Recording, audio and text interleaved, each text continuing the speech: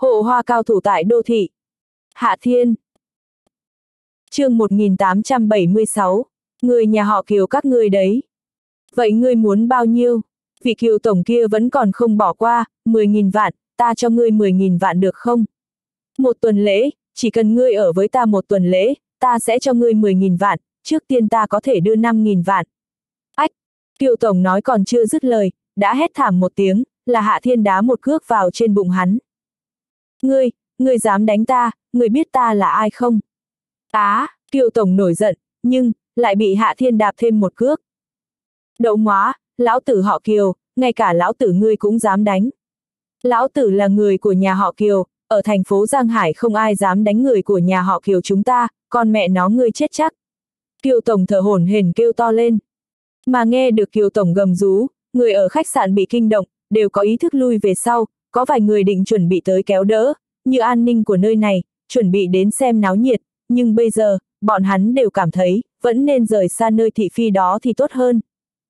Dù sao, ở thành phố Giang Hải, danh tiếng nhà họ Kiều rất lớn, người thoáng biết một vài nội tình, đều biết nhà họ Kiều mới là đệ nhất đại gia tộc ở Giang Hải bây giờ, mà người nhà họ Kiều, đúng là không chọc nổi. Một số người nhìn Hạ Thiên và Lam Y Nhân, lại phát hiện hai người họ có chút cổ quái, mà bọn hắn tự nhiên đều cho rằng, hai người bọn hắn đang sợ. Vương Tuệ Tuệ cũng lo lắng nhìn Lam Y Nhân, mặc dù nàng biết bây giờ Lam Y Nhân không phải người bình thường, thân là tổng giám đốc tập đoàn thần y, có thân phận có địa vị, nhưng danh tiếng nhà họ Kiều, cho dù nàng không phải người Giang Hải, cũng có biết, một công ty lớn, có thể vượt qua một đại gia tộc bản địa hay không, điều đấy thật đúng là khó mà nói. Vương bát đản, bây giờ ngươi biết sợ rồi đúng không? Tới đi, cầu xin ta, để cho nữ nhân của ngươi lập tức lên lầu với lão tử, lão tử sẽ không so đo. a à, kiều tổng kia bắt đầu phách lối uy hiếp, nói còn chưa dứt lời, lại bị đạp một cước, mà lần này, cuối cùng hắn ngã trên mặt đất. Đồ ngu, ngươi còn kêu là họ kiều à? Hạ thiên lại đá một cước. Ngay cả ta cũng không nhận ra, ngươi có tư cách gì gọi là họ kiều. Lại đá một cước. Ngươi lại còn dám bảo mình họ kiều. Hạ thiên lại đá một cước. Lập tức ngươi sẽ không còn là người nhà họ kiều nữa. Hạ thiên lại đá một cước, đá vào đúng quần của kiều tổng. Kiều tổng kêu thảm một tiếng kinh thiên động địa, sau đó lập tức hôn mê. Đám người bốn phía hoàn toàn trợn tròn mắt, chuyện này, người đó là ai vậy, thế mà châu bò như vậy, ngay cả người nhà họ Kiều cũng dám không để vào mắt. Ngươi, ngươi có biết hắn là ai hay không? Lưu Linh kia cũng trợn tròn mắt. Hạ Thiên vừa nhấc chân, đạp Lưu Linh bất tỉnh. Xấu xí làm nhiều điều quái dị. Hạ Thiên có chút không kiên nhẫn, sau đó, hắn lấy điện thoại ra, gọi một cuộc điện thoại, này, ngươi qua đây một chút. Nói địa điểm, cúp điện thoại, Hạ Thiên thuận tay ôm Lam Y Nhân, lại ngồi xuống. Audio điện tử võ tấn bền. Chuyện đó, tiểu thư, cô, trà xanh cô kêu. Lúc này, cuối cùng phục vụ đưa tới hai tách trà xanh. Chuyện này, y nhân, các ngươi, các ngươi không có việc gì sao? Vương Tuệ Tuệ nhìn không được hỏi. Hai người họ trước mặt mọi người đánh bất tỉnh hai người kia, tuy hai người kia rất đáng ăn đòn, nhưng sẽ không có chuyện gì chứ. Tuệ Tuệ, đừng lo lắng, không có việc gì. Đối với chuyện đấy, làm y nhân đã rất quen thuộc, đối với Hạ Thiên mà nói, hiển nhiên là chuyện nhỏ, thế mà đối phương còn bảo là người nhà họ Kiều, vậy càng không có chuyện gì. Chuyện kia, anh, anh là Thiên ca. Một giọng nói thận trọng truyền tới từ phía bên cạnh. Hạ Thiên vừa quay đầu, nhìn thấy một người bảo vệ, chừng 30 tuổi. Ta, à, người biết ta. Hạ Thiên có chút ngạc nhiên. Thiên ca, ta, chúng ta cũng là thủ hạ của đại tiểu thư, bây giờ bảo vệ chúng ta cũng là đang làm việc cho anh, anh, anh có muốn chúng ta làm chút gì hay không? Nhân viên bảo vệ kia nhỏ giọng hỏi. Cũng được, các người tiếp tục đánh tên ngu ngốc kia, đánh hắn đến tỉnh mới thôi. Hạ Thiên Thuận miệng nói. Vâng, Thiên ca, nhân viên bảo vệ đó gật đầu một cái, sau đó lại gọi một chút tới, đánh người này đi. Mấy tên bảo vệ đấy lập tức động chân, đá tới đá lui vị kiều tổng đang nằm trên mặt đất, mà mọi người vây xem đều trợn mắt hốc mồm, đây cũng là một màn chơi sao. Á, mấy phút sau, Kiều Tổng đáng thương thật sự là đau đến tỉnh lại, sau đó, sẽ không có cách nào hôn mê nữa. Một tiếng thắng gấp từ bên ngoài quán rượu truyền đến, một nam nhân vội vã xuống xe, vọt vào khách sạn. Nhìn lướt qua, nam nhân này đã thấy Hạ Thiên, vội vàng lao đến, cái đó, Hạ Thiên, sao vậy? Đã xảy ra chuyện gì? Bốn phía truyền đến vài tiếng kinh hô nhỏ, bởi vì bọn hắn nhận ra nam nhân này chính là đại thiếu gia nhà họ Kiều, Kiều Đông Hải. Nơi đó có một đứa ngu ngốc nói là người nhà họ Kiều các ngươi, còn muốn để vợ tiểu y y của ta đi với hắn. Hạ Thiên nhìn Kiều Đông Hải, ta không có hứng thú quản chuyện của các ngươi, nhưng ta không muốn các ngươi làm ô uế danh tiếng của vợ ta, tiểu Kiều thông minh như vậy, trong nhà cũng không thể có kẻ ngu đần như thế. Con mẹ nó, cái thằng ngu này, ở chỗ kia sao, ta đi xem một chút, Kiều Đông Hải sắp điên rồi, nhà họ Kiều làm sao lại có mặt hàng như vậy chứ? chương 1877, có thể gọi hắn là thần y đệ nhất thiên hạ. Bước nhanh trên mặt đất đến trước mặt Kiều Tổng, Kiều Đông Hải trước tiên ngăn lại mấy tên bảo vệ, này, các ngươi trước tiên đừng đánh, để ta nhìn rõ xem tên ngốc này rốt cuộc là ai. Chưa kể, bất kể là Hạ Thiên hay mấy tên bảo vệ vừa rồi, kỹ thuật đánh người cũng đều không tồi, đều chỉ chào hỏi trên người, trên mặt không nhìn thấy bao nhiêu vết thương, nếu chỉ nhìn mặt, người đó dường như bị thương không nghiêm trọng, cho nên muốn nhìn rõ xem khuôn mặt của hắn cũng không khó. Tên ngốc này là ai thế? Kiều Đông Hải nhìn chằm chằm người này một lúc lâu, quả thật không nhận ra. Đại thiếu, là, là ta đây, ta là Kiều Phong. dáng vẻ vị Kiều Tổng như sắp khóc đến nơi rồi. Ta nhổ vào, lão tử là đoàn dự đây, dáng vẻ sợ hãi kia của ngươi mà còn muốn gọi là Kiều Phong sao? Kiều Đông Hải tức giận nói. Không phải là Phong đó, là Phong trong quát Phong Hạ Vũ, đại thiếu, mấy ngày trước ta còn từng đến chào hỏi anh, ta là người của nhà họ Kiều bên thành phố Lạc. Kiều Phong nói tới đây đã bị cắt ngang. À, ta nhớ ra rồi, hóa ra là tên đần nhà ngươi. Kiều Đông Hải lại tức điên lên, trực tiếp đá một phát vào mặt Kiều Phong, tên ngốc ngươi mà cũng muốn gia nhập vào nhà họ Kiều chúng ta à, lão tử cũng chỉ muốn lười biếng thôi, cảm thấy nhiều việc cũng không có gì, ngược lại tên kém thông minh như ngươi thật có bản lĩnh đó, còn gây rắc rối cho ta đây. Kiều Đông Hải liền đá Kiều Phong mấy cái, sau đó nhe răng nhếch miệng, địch mẹ, tên ngốc này xương cốt rất cứng, cái đó, mấy người các ngươi tiếp tục, đừng đánh chết hắn là được, tối nay ta lại đến dạy dỗ hắn thật tốt. Nghe câu kia của Kiều Đông Hải, mấy tên bảo vệ lại tiếp tục, không phải vì nghe theo mệnh lệnh của Kiều Đông Hải, mà bọn hắn cũng biết quan hệ giữa Kiều Đông Hải và Hạ Thiên. Tiếng kêu thảm thiết tiếp tục vang lên, người xem náo nhiệt đều sững sờ, bọn hắn theo bản năng nhìn về phía Hạ Thiên, người này, người này rốt cuộc là ai? Kiều Đông Hải cũng đã đi đến bên cạnh Hạ Thiên, khụ khụ, cái đó, Hạ Thiên, thật xin lỗi, chắc ngươi không biết, mấy năm nay, bởi vì quan hệ của Tiểu Kiều, thanh danh của nhà họ Kiều chúng ta càng lúc càng lớn, có mấy gia tộc nhỏ vốn dĩ có chút không liên quan đến gia tộc của chúng ta, nhưng bởi vì cũng mang họ Kiều, nên muốn lôi kéo một ít quan hệ với chúng ta, nói cái gì mà sẽ do nhà họ Kiều chúng ta ở Giang Hải làm chủ, ngươi cũng biết ta lười rồi đấy, vì vậy hầu như cũng đồng ý.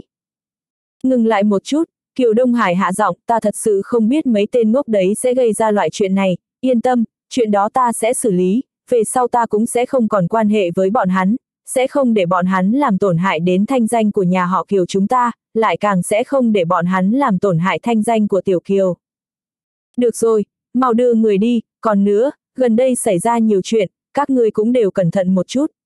Hạ Thiên lười biếng nói. Hiểu rồi, ta sẽ cẩn thận. Kiều Đông Hải gật đầu, ta cũng nghe nói Tô Tiểu Sán tên đó lúc trước xảy ra chút chuyện, gần đây Giang Hải dường như bắt đầu không bình yên rồi. Nhìn Lam Y Nhân một cái, Kiều Đông Hải lại nói thêm, Lam Tiểu Thư, rất xin lỗi, về sau sẽ không xảy ra những chuyện tương tự nữa đâu.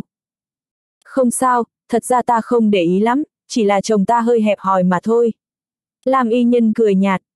Điều này thì ta biết, Kiều Đông Hải đương nhiên hiểu phong cách của Hạ Thiên, gia hỏa này không để ý đến chuyện khác, nhưng ngược lại liên quan tới vợ hắn thì đều là chuyện lớn. Ngừng một chút, Kiều Đông Hải lại nói thêm, Hạ Thiên, ta không làm phiền các ngươi nữa, ta đưa tên ngốc kia đi trước. Kiều Đông Hải nhanh chóng rời đi, mà Kiều Phong kia đương nhiên cũng bị mang đi, về phần lưu linh, bây giờ, sớm đã xứng sở bên cạnh, mà nàng cuối cùng cũng không dám nói gì, trực tiếp lặng lẽ rời đi, về phần đầu tư gì đó, nàng cũng rất rõ, sẽ không có hy vọng nào nữa. Mà đại sảnh khách sạn cũng rất nhanh khôi phục lại bình thường, không ai báo cảnh sát, cũng không ai nói thêm gì nữa, mấy bảo vệ đó cũng đều khôi phục tuần tra bình thường, không ai nói gì, nhưng hiện tại, mấy nhân viên phục vụ và những người khác trong đại sảnh đều đã biết, Hạ Thiên không phải là người bình thường. Này, y nhân, chồng ngươi rốt cuộc có lai lịch thế nào vậy? Vương Tuệ Tuệ đã sớm trợn tròn mắt, mà bây giờ, nàng cũng không nhìn được hỏi. Tuệ Tuệ, chuyện đó à, thật ra ta cũng không hiểu lắm. Lam y nhân cười nhẹ, lời này thật ra cũng không sai, nàng cũng có rất nhiều chuyện không rõ lắm. Tuệ tuệ, đừng hỏi nhiều. Đường Phong mở miệng nói, hiển nhiên, hắn cũng nhìn ra, Lam y nhân không muốn nói chuyện đấy, đương nhiên, cái này cũng coi như không sai, quả thật Lam y nhân cũng không muốn nói lắm, dù sao chuyện đó quá phức tạp. Xin lỗi, y nhân, ta cũng không phải là muốn thăm dò bí mật gì đâu, ta chỉ có hơi tò mò một chút. Vương Tuệ Tuệ cũng phản ứng lại, người không tiện nói thì đừng nói. Tuệ Tuệ, thật ra chuyện giữa ta và hắn khá phức tạp, nhất thời không nói rõ được, ừm, thật ra chồng ta là một bác sĩ, một bác sĩ rất tốt. Làm y nhân hơi trầm ngâm một chút, hoặc, người có thể gọi hắn là thần y đệ nhất thiên hạ, đây không phải là một ví dụ, mà là sự thật. Không sai, vợ tiểu y y nói rất đúng. Hạ thiên ở bên cạnh phụ họa một câu, hắn thật sự chính là thần y đệ nhất thiên hạ, đây là sự thật mà vợ y y nhà hắn cũng không thể thay đổi. Y nhân, không nói chuyện đó nữa, nói mới nhớ, thành phố Giang Hải bên này có chỗ nào thú vị không? Vương Tuệ Tuệ chuyển sang chủ đề khác, bây giờ ta không thể nói chuyện đầu tư nữa rồi, ngẫm lại lúc nãy ta có hơi nóng này, không bằng dứt khoát nhân cơ hội này nghỉ ngơi vài ngày. Được, tuy ta không quen thuộc ở nơi đây lắm, nhưng không sao, ta tìm người giúp ngươi sắp xếp. Lam y nhân nói xong lấy di động ra, gọi điện thoại cho trợ lý. Thân là tổng tài của tập đoàn thần y, muốn sắp xếp chút chuyện như vậy đương nhiên rất đơn giản chương 1878, ai bảo hắn không quản tốt thuộc hạ của mình. Mấy phút sau, làm y nhân cúp điện thoại. Tuệ tuệ, ta đã sắp xếp xong cho các người rồi, ừm, sắp xếp cho các người một chiếc xe, một hướng dẫn viên du lịch, nơi ở cũng sắp xếp ổn thỏa cho các người rồi, các người muốn ở đây chơi mấy ngày đều được.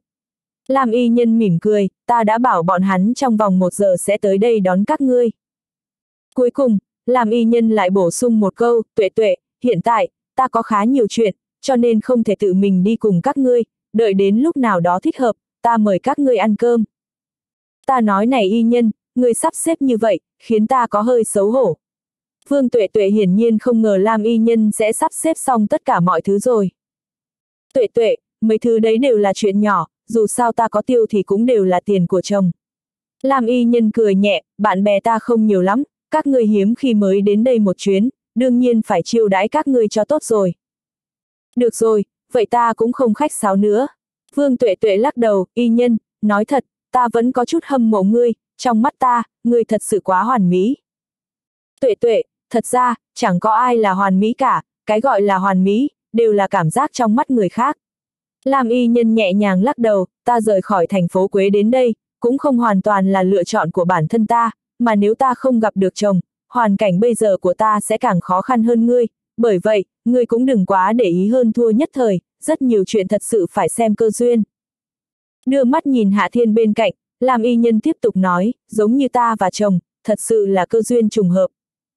Ừm, như cái gọi là người uống nước ấm hay lạnh chỉ tự mình biết, người khác nhìn thấy đều là bề ngoài.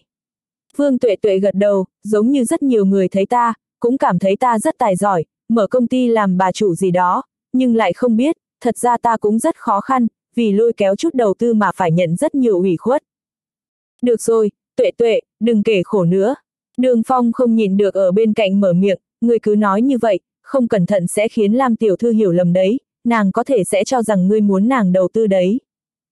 Hả, Vương Tuệ Tuệ cuối cùng cũng phản ứng lại, sau đó vội vàng lắc đầu, y nhân, ngươi đừng hiểu lầm nha, ta không có ý này, và lại ta biết tập đoàn thần y cũng không phải của ngươi, huống chi công ty của các ngươi cũng sẽ không đầu tư vào loại công ty như chúng ta, ta thật sự không có ý đó. Tuệ tuệ, thật ra ta cũng không giấu ngươi chuyện này, bên phía tập đoàn thần y, trên cơ bản không có kế hoạch đầu tư gì cả, nguyên nhân cụ thể, thật ra ta cũng không rõ lắm.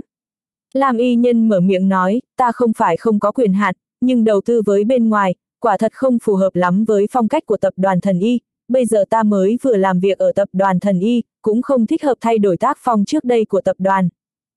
Vợ tiểu y y, thật ra nguyên nhân của chuyện đấy rất đơn giản, trước đây chuyện đầu tư đều do tiểu kiều phụ trách. Hạ Thiên ở bên cạnh thuận miệng nói, nàng là thiên tài ở phương diện này. Hạ Thiên hiển nhiên cũng không phải cái gì cũng không biết, chuyện đó hắn vẫn hiểu được. Hạ Tiên sinh, tiểu kiều mà ngươi nói, chẳng lẽ là vị mỹ nữ thiên tài của nhà họ kiều, kiều tiểu kiều kia sao? Đường Phong không nhìn được hỏi. Đúng vậy, Hạ Thiên cũng trả lời một câu. Không đợi đường phong nói tiếp, Hạ Thiên lại lười biếng nói một câu, nếu các ngươi thật sự rất thiếu tiền, thì đi tìm Kiều Đông Hải đi, hắn tùy tiện cho các ngươi một chút, các ngươi có thể lấy được công ty gì đó kia, cứ nói ta bảo các ngươi đến, Kiều Đông Hải chắc chắn sẽ cho các ngươi tiền. Chồng, như vậy có thích hợp không? Lam y nhân nhẹ giọng hỏi. Không có gì không thích hợp cả, Kiều Đông Hải cả ngày đều nhàm chán tiêu tiền, ừm, lần này cứ để hắn tiêu tiền của mình vào chuyện đầu tư đi. Hạ Thiên Thuận miệng nói, ai bảo hắn không biết quản lý cho tốt đám người dưới trướng chứ. Lam y nhân coi như hiểu được, chuyện kia coi như là một loại trừng phạt trá hình đối với Kiều Đông Hải đi. Đương nhiên, loại trừng phạt đó cũng vô thưởng vô phạt, càng giống một loại cảnh cáo hơn. Tuệ tuệ, các người cứ chơi vui vẻ trước đi, sau đó ta sẽ sắp xếp một cơ hội thích hợp để các người nói chuyện với Kiều Đông Hải, nếu chồng đã nói như vậy rồi thì các ngươi không cần lo lắng vấn đề tiền bạc nữa. Sau khi Lam Y Nhân hiểu ý Hạ Thiên, đã quyết định ủng hộ hắn. Chuyện đấy, Y Nhân, ta thật sự không biết nên nói gì. Trong lúc nhất thời Vương Tuệ Tuệ thật sự không biết nên cảm ơn thế nào mới tốt. Tuệ Tuệ, không cần quá để ý đâu, đối với chồng mà nói, đây cũng chỉ là chuyện một câu nói mà thôi, không phải chuyện lớn gì cả. Lam y nhân mỉm cười, tóm lại, mấy ngày nay ngươi cứ yên tâm nghỉ ngơi đi. Điện thoại của Lam y nhân vang lên, nàng nhận điện thoại, rất nhanh đã cúp máy, tuệ tuệ, tài xế và hướng dẫn viên du lịch đều đã đến rồi, các ngươi chuẩn bị đi thôi. Vậy thì, được rồi, y nhân, chúng ta trước đó không làm phiền nữa. Vương tuệ tuệ không nói thêm gì nữa, thật ra nàng còn cần một chút thời gian để tiêu hóa những chuyện kia. Mấy phút sau, Vương Tuệ Tuệ và Đường Phong đã rời khỏi, làm y nhân nhìn về phía Hạ Thiên, chồng, bây giờ chúng ta đi đâu đây? chương 1879, ngươi đã cho ta uống thuốc gì? Vợ tiểu y y, chúng ta đến tập đoàn thần y đi. Hạ Thiên suy nghĩ rồi nói. Chồng à, chiều nay ta vẫn phải đi làm. Làm y nhân thì thào. Vợ tiểu y y, nàng có thể làm. Hạ Thiên cười hì hì, ta chỉ định đi chế ít thuốc. Được thôi, vậy chúng ta đến tập đoàn thần y.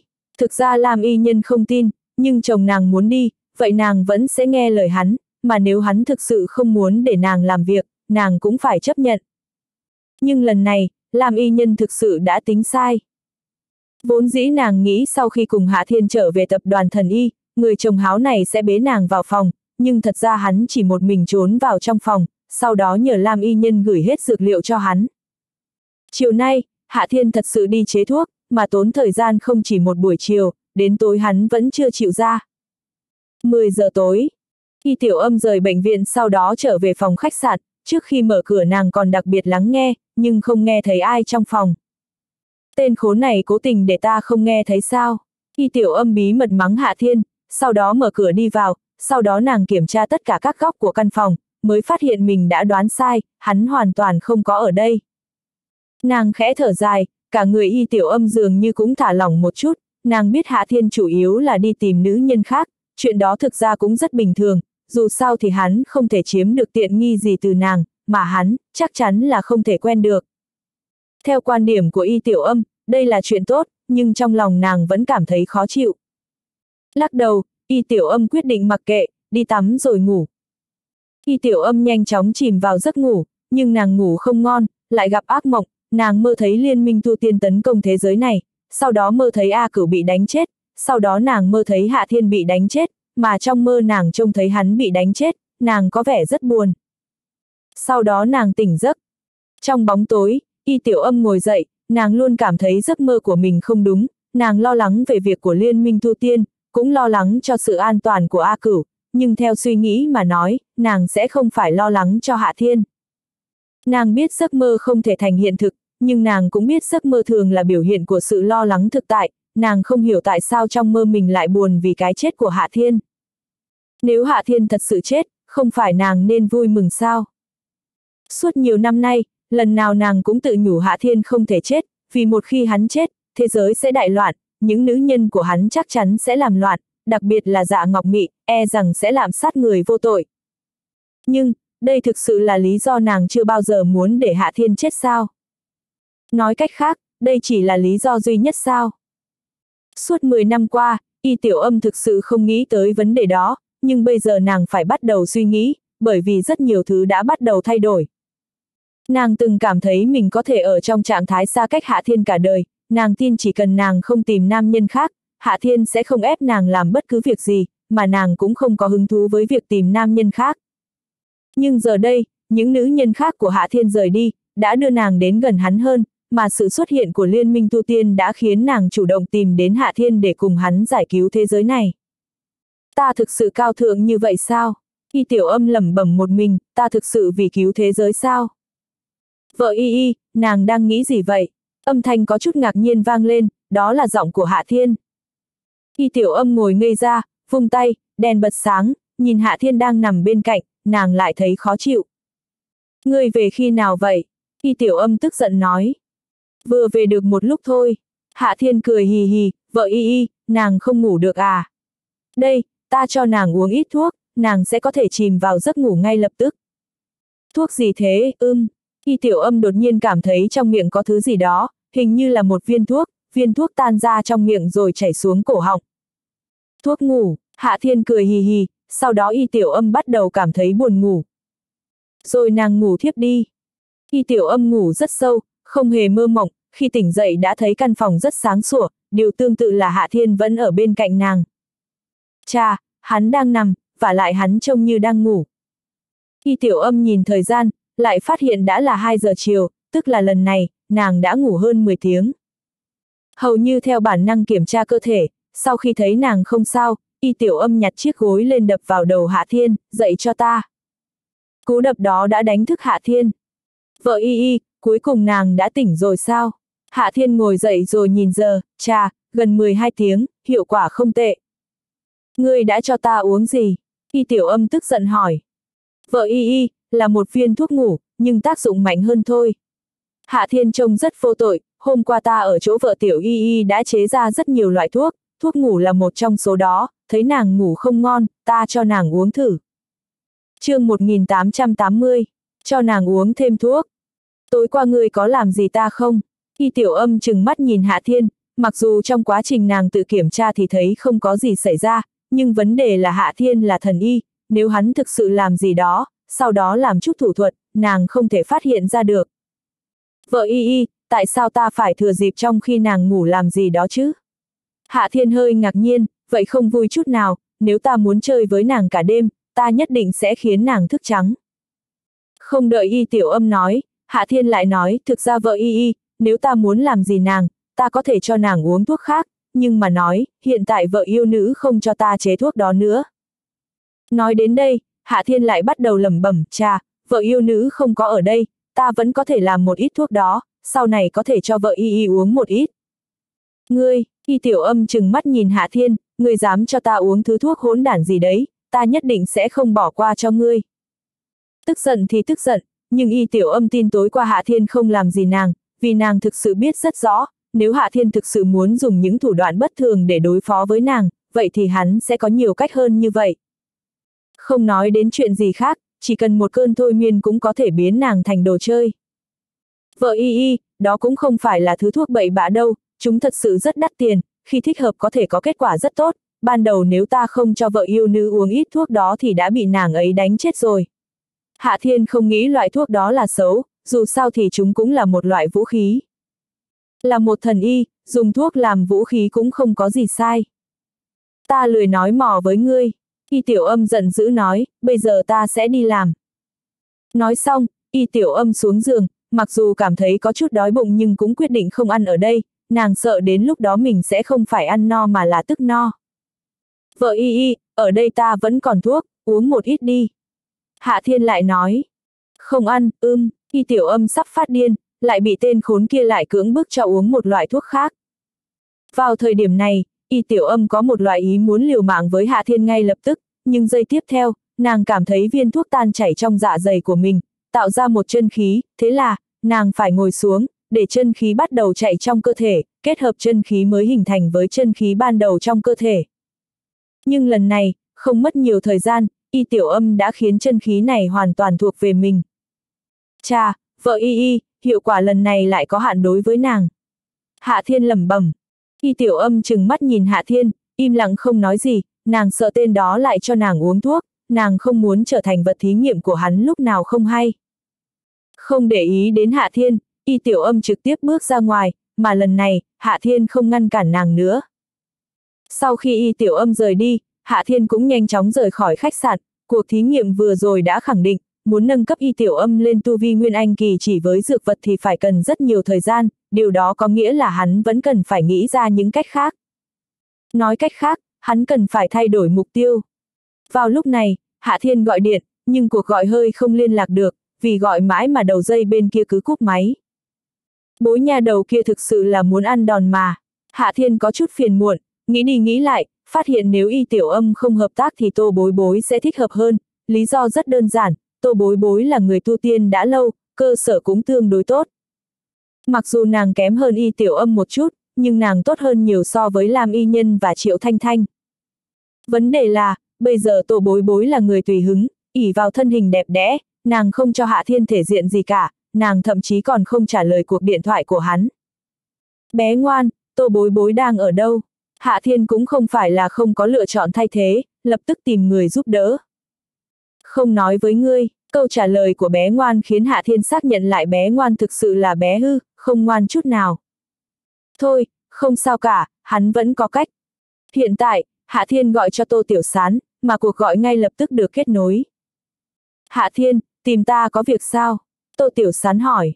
Bối nha đầu không trả lời cuộc gọi của ta, người biết nàng ấy đang ở đâu không? Hạ Thiên hỏi thẳng. Chờ tí, để ta gửi địa chỉ cho ngươi. Tô Tiểu Sán thực sự biết. Một phút sau, Hạ Thiên nhận được địa chỉ do Tô Tiểu Sán gửi đến, phát hiện không biết địa chỉ đó ở đâu, nhưng không sao cả, hắn vẫn có thể gọi taxi. Hạ Thiên đến lề đường định chặn một chiếc taxi thì ngay sau đó có một chiếc ô tô dừng lại. Anh rể, người muốn đi đâu thế? Ta có thể đưa ngươi đến đó. Chính là hàm hàm lái xe tới, và lại nàng còn đang lái một chiếc xe mới còn chưa lấy được biển số. chương 1881, không được nói vậy trước mặt anh trai ta. Có người chủ động làm tài xế cho mình, Hạ Thiên tất nhiên sẽ không từ chối, hắn nhảy thẳng lên xe, sau đó nói địa chỉ cho hàm hàm biết. Hả, anh rể, đây là tiệm áo cưới, người đến đó lấy áo cưới sao? Hàm hàm có chút ngạc nhiên hỏi. Không phải, Hạ Thiên Thuận miệng nói. Vậy sao ngươi lại đến tiệm áo cưới? Trong lòng của hàm hàm vô cùng tò mò, nàng vừa lái xe vừa hỏi. Chơi, lần này, Hạ Thiên trả lời rất ngắn gọn. Nhưng ở tiệm áo cưới có gì vui đâu. Hàm hàm vẫn không hiểu, chẳng lẽ người muốn đi cướp một cô dâu tương lai đang thử váy cưới sao? Không đợi Hạ Thiên trả lời, hàm hàm đã tự biểu hiện đồng ý với chính mình, ừm, chắc chắn là như vậy rồi. Việc đó rất phù hợp với phong cách của anh rể. Hạ Thiên không muốn nói lý lẽ với hàm hàm nên hắn dứt khoát không nói lời nào. Hàm hàm lại không cô đơn như cũ, anh rể, mỗi ngày ngươi đều đang làm gì vậy? Tại sao ngươi lại một mình đứng ở ven đường nhìn như muốn ngăn xe tải lại vậy? Thật ra nếu không có ai chơi với ngươi, ngươi có thể đến tìm ta, gần đây ta cũng rất nhàm chán. Ngươi không xinh đẹp, ta không muốn chơi với ngươi. Cuối cùng thì Hạ Thiên cũng nói chuyện. Mà lần này đến lượt hàm hàm buồn bực. Anh rể, ánh mắt của ngươi quá kém. Hàm hàm không vui nói, rõ ràng là ta rất xinh đẹp. Hạ Thiên lại lười nói chuyên, hắn không thèm cãi nhau với một cô nhóc có vóc dáng tệ như vậy, lãng phí thời gian. Một lúc sau, xe đến nơi dừng lại trước cửa một tiệm áo cưới, tên của tiệm áo cưới đó thực sự rất phổ thông, nó tên là Tân Nương đẹp nhất, hơn nữa trong tủ kính ở cửa ra vào của cửa hàng còn đang bày một bộ váy cưới rất xinh đẹp. Hiện tại, đang có một người đứng bên tủ kính ngắm nhìn chiếc váy cưới kia. Nhìn đi, nàng mới được gọi là xinh đẹp. Hiện tại, Hạ Thiên nhìn hàm hàm, hắn nghiêm túc nói một câu. Mà Hạ Thiên không đợi hàm hàm trả lời đã nhảy xuống xe, hắn đi về phía Mỹ nữ kia. Ở trên xe, hàm hàm nhìn chằm chằm Mỹ nữ đấy, nàng có chút buồn bực, Mỹ nữ này đúng là dễ nhìn, chưa kể khuôn mặt xinh đẹp, đặc biệt là thân hình đó, thật sự rất tốt. Không sao hết, ta còn có thể phát triển.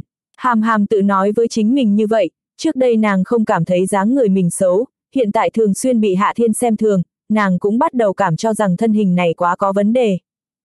Nhìn Mỹ nữ cách đó không xa, nàng cảm thấy mình cũng có hy vọng phát triển, dù sao thì từ lâu nàng đã từng nghe nói qua, trước đây vóc dáng của tô bối bối cũng không được đẹp lắm, nhưng bây giờ nhìn nàng đã phát triển thành như thế, đây đơn giản chính là nghịch thiên, một kiểu phát triển vượt xa bình thường. Không sai, người đang đứng bên cạnh tủ kính ngắm nhìn váy cưới, không ai khác chính là tô bối bối, cũng chính là mục tiêu của Hạ Thiên đến nơi này. Bối nha đầu, người thích chiếc váy cưới này sao? Hạ Thiên đã đi đến bên cạnh tô bối bối, thuận tay ôm lấy eo của nàng. Này, đồ biến thái, thả ta ra. Tô bối bối quay đầu liếc nhìn Hạ Thiên một cái, ngươi không cảm thấy chiếc váy cưới đấy rất đẹp sao? Nó rất đẹp, nhưng nó không phù hợp với ngươi. Hạ Thiên thuận miệng nói, chiếc váy cưới kia khá hở hang, nó thích hợp với dáng người không đẹp lắm, giống như hàm hàm kia vậy. a à, tiểu lừa gạt hàm hàm kia đã đi rồi. Hạ Thiên quay đầu nhìn lại thì phát hiện ra hàm hàm đã lái xe rời đi mất. Đồ ngốc, váy cưới có thể chỉnh sửa được, ngực to hay nhỏ cũng không quan trọng.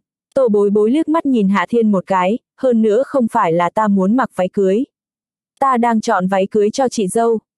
Dù sao nàng ấy cũng không đẹp, mặc bừa một chiếc váy cưới là được rồi. Hạ Thiên thản nhiên nói. Tên biến thái chết tiệt, sao ngươi lại nói chuyện như thế? Tô bối bối lại liếc nhìn Hạ Thiên, tại sao nàng ấy không đẹp chứ? Chưa kể rằng nàng ấy vốn đã rất xinh đẹp, cho dù nàng ấy không ưa nhìn thì chuyện đó cũng không liên quan tới ngươi. Không cần ngươi nhìn, anh cả ta thích là được rồi. Nhưng nàng ấy không đẹp mà. Hạ Thiên ra vẻ vô tội nói, khuôn mặt không dễ nhìn, dáng người cũng không ổn. Làm sao ngươi biết vóc dáng của người ta không đẹp? Tô bối bối chừng mắt nhìn Hạ Thiên, nói như là ngươi đã từng nhìn qua rồi vậy. Ta thực sự đã từng nhìn thấy mà. Sắc mặt của Hạ Thiên vẫn rất là vô tội. Hả, lần này tô bối bói tức điên lên, Hạ Thiên, cái tên háo sắc ngươi đã làm gì với chị dâu ta? Ta chẳng hề làm gì cả, chính là chị dâu kia của ngươi không mặc quần áo chạy ra, nếu như ngươi không tin thì tự mình đi hỏi nàng ấy đi.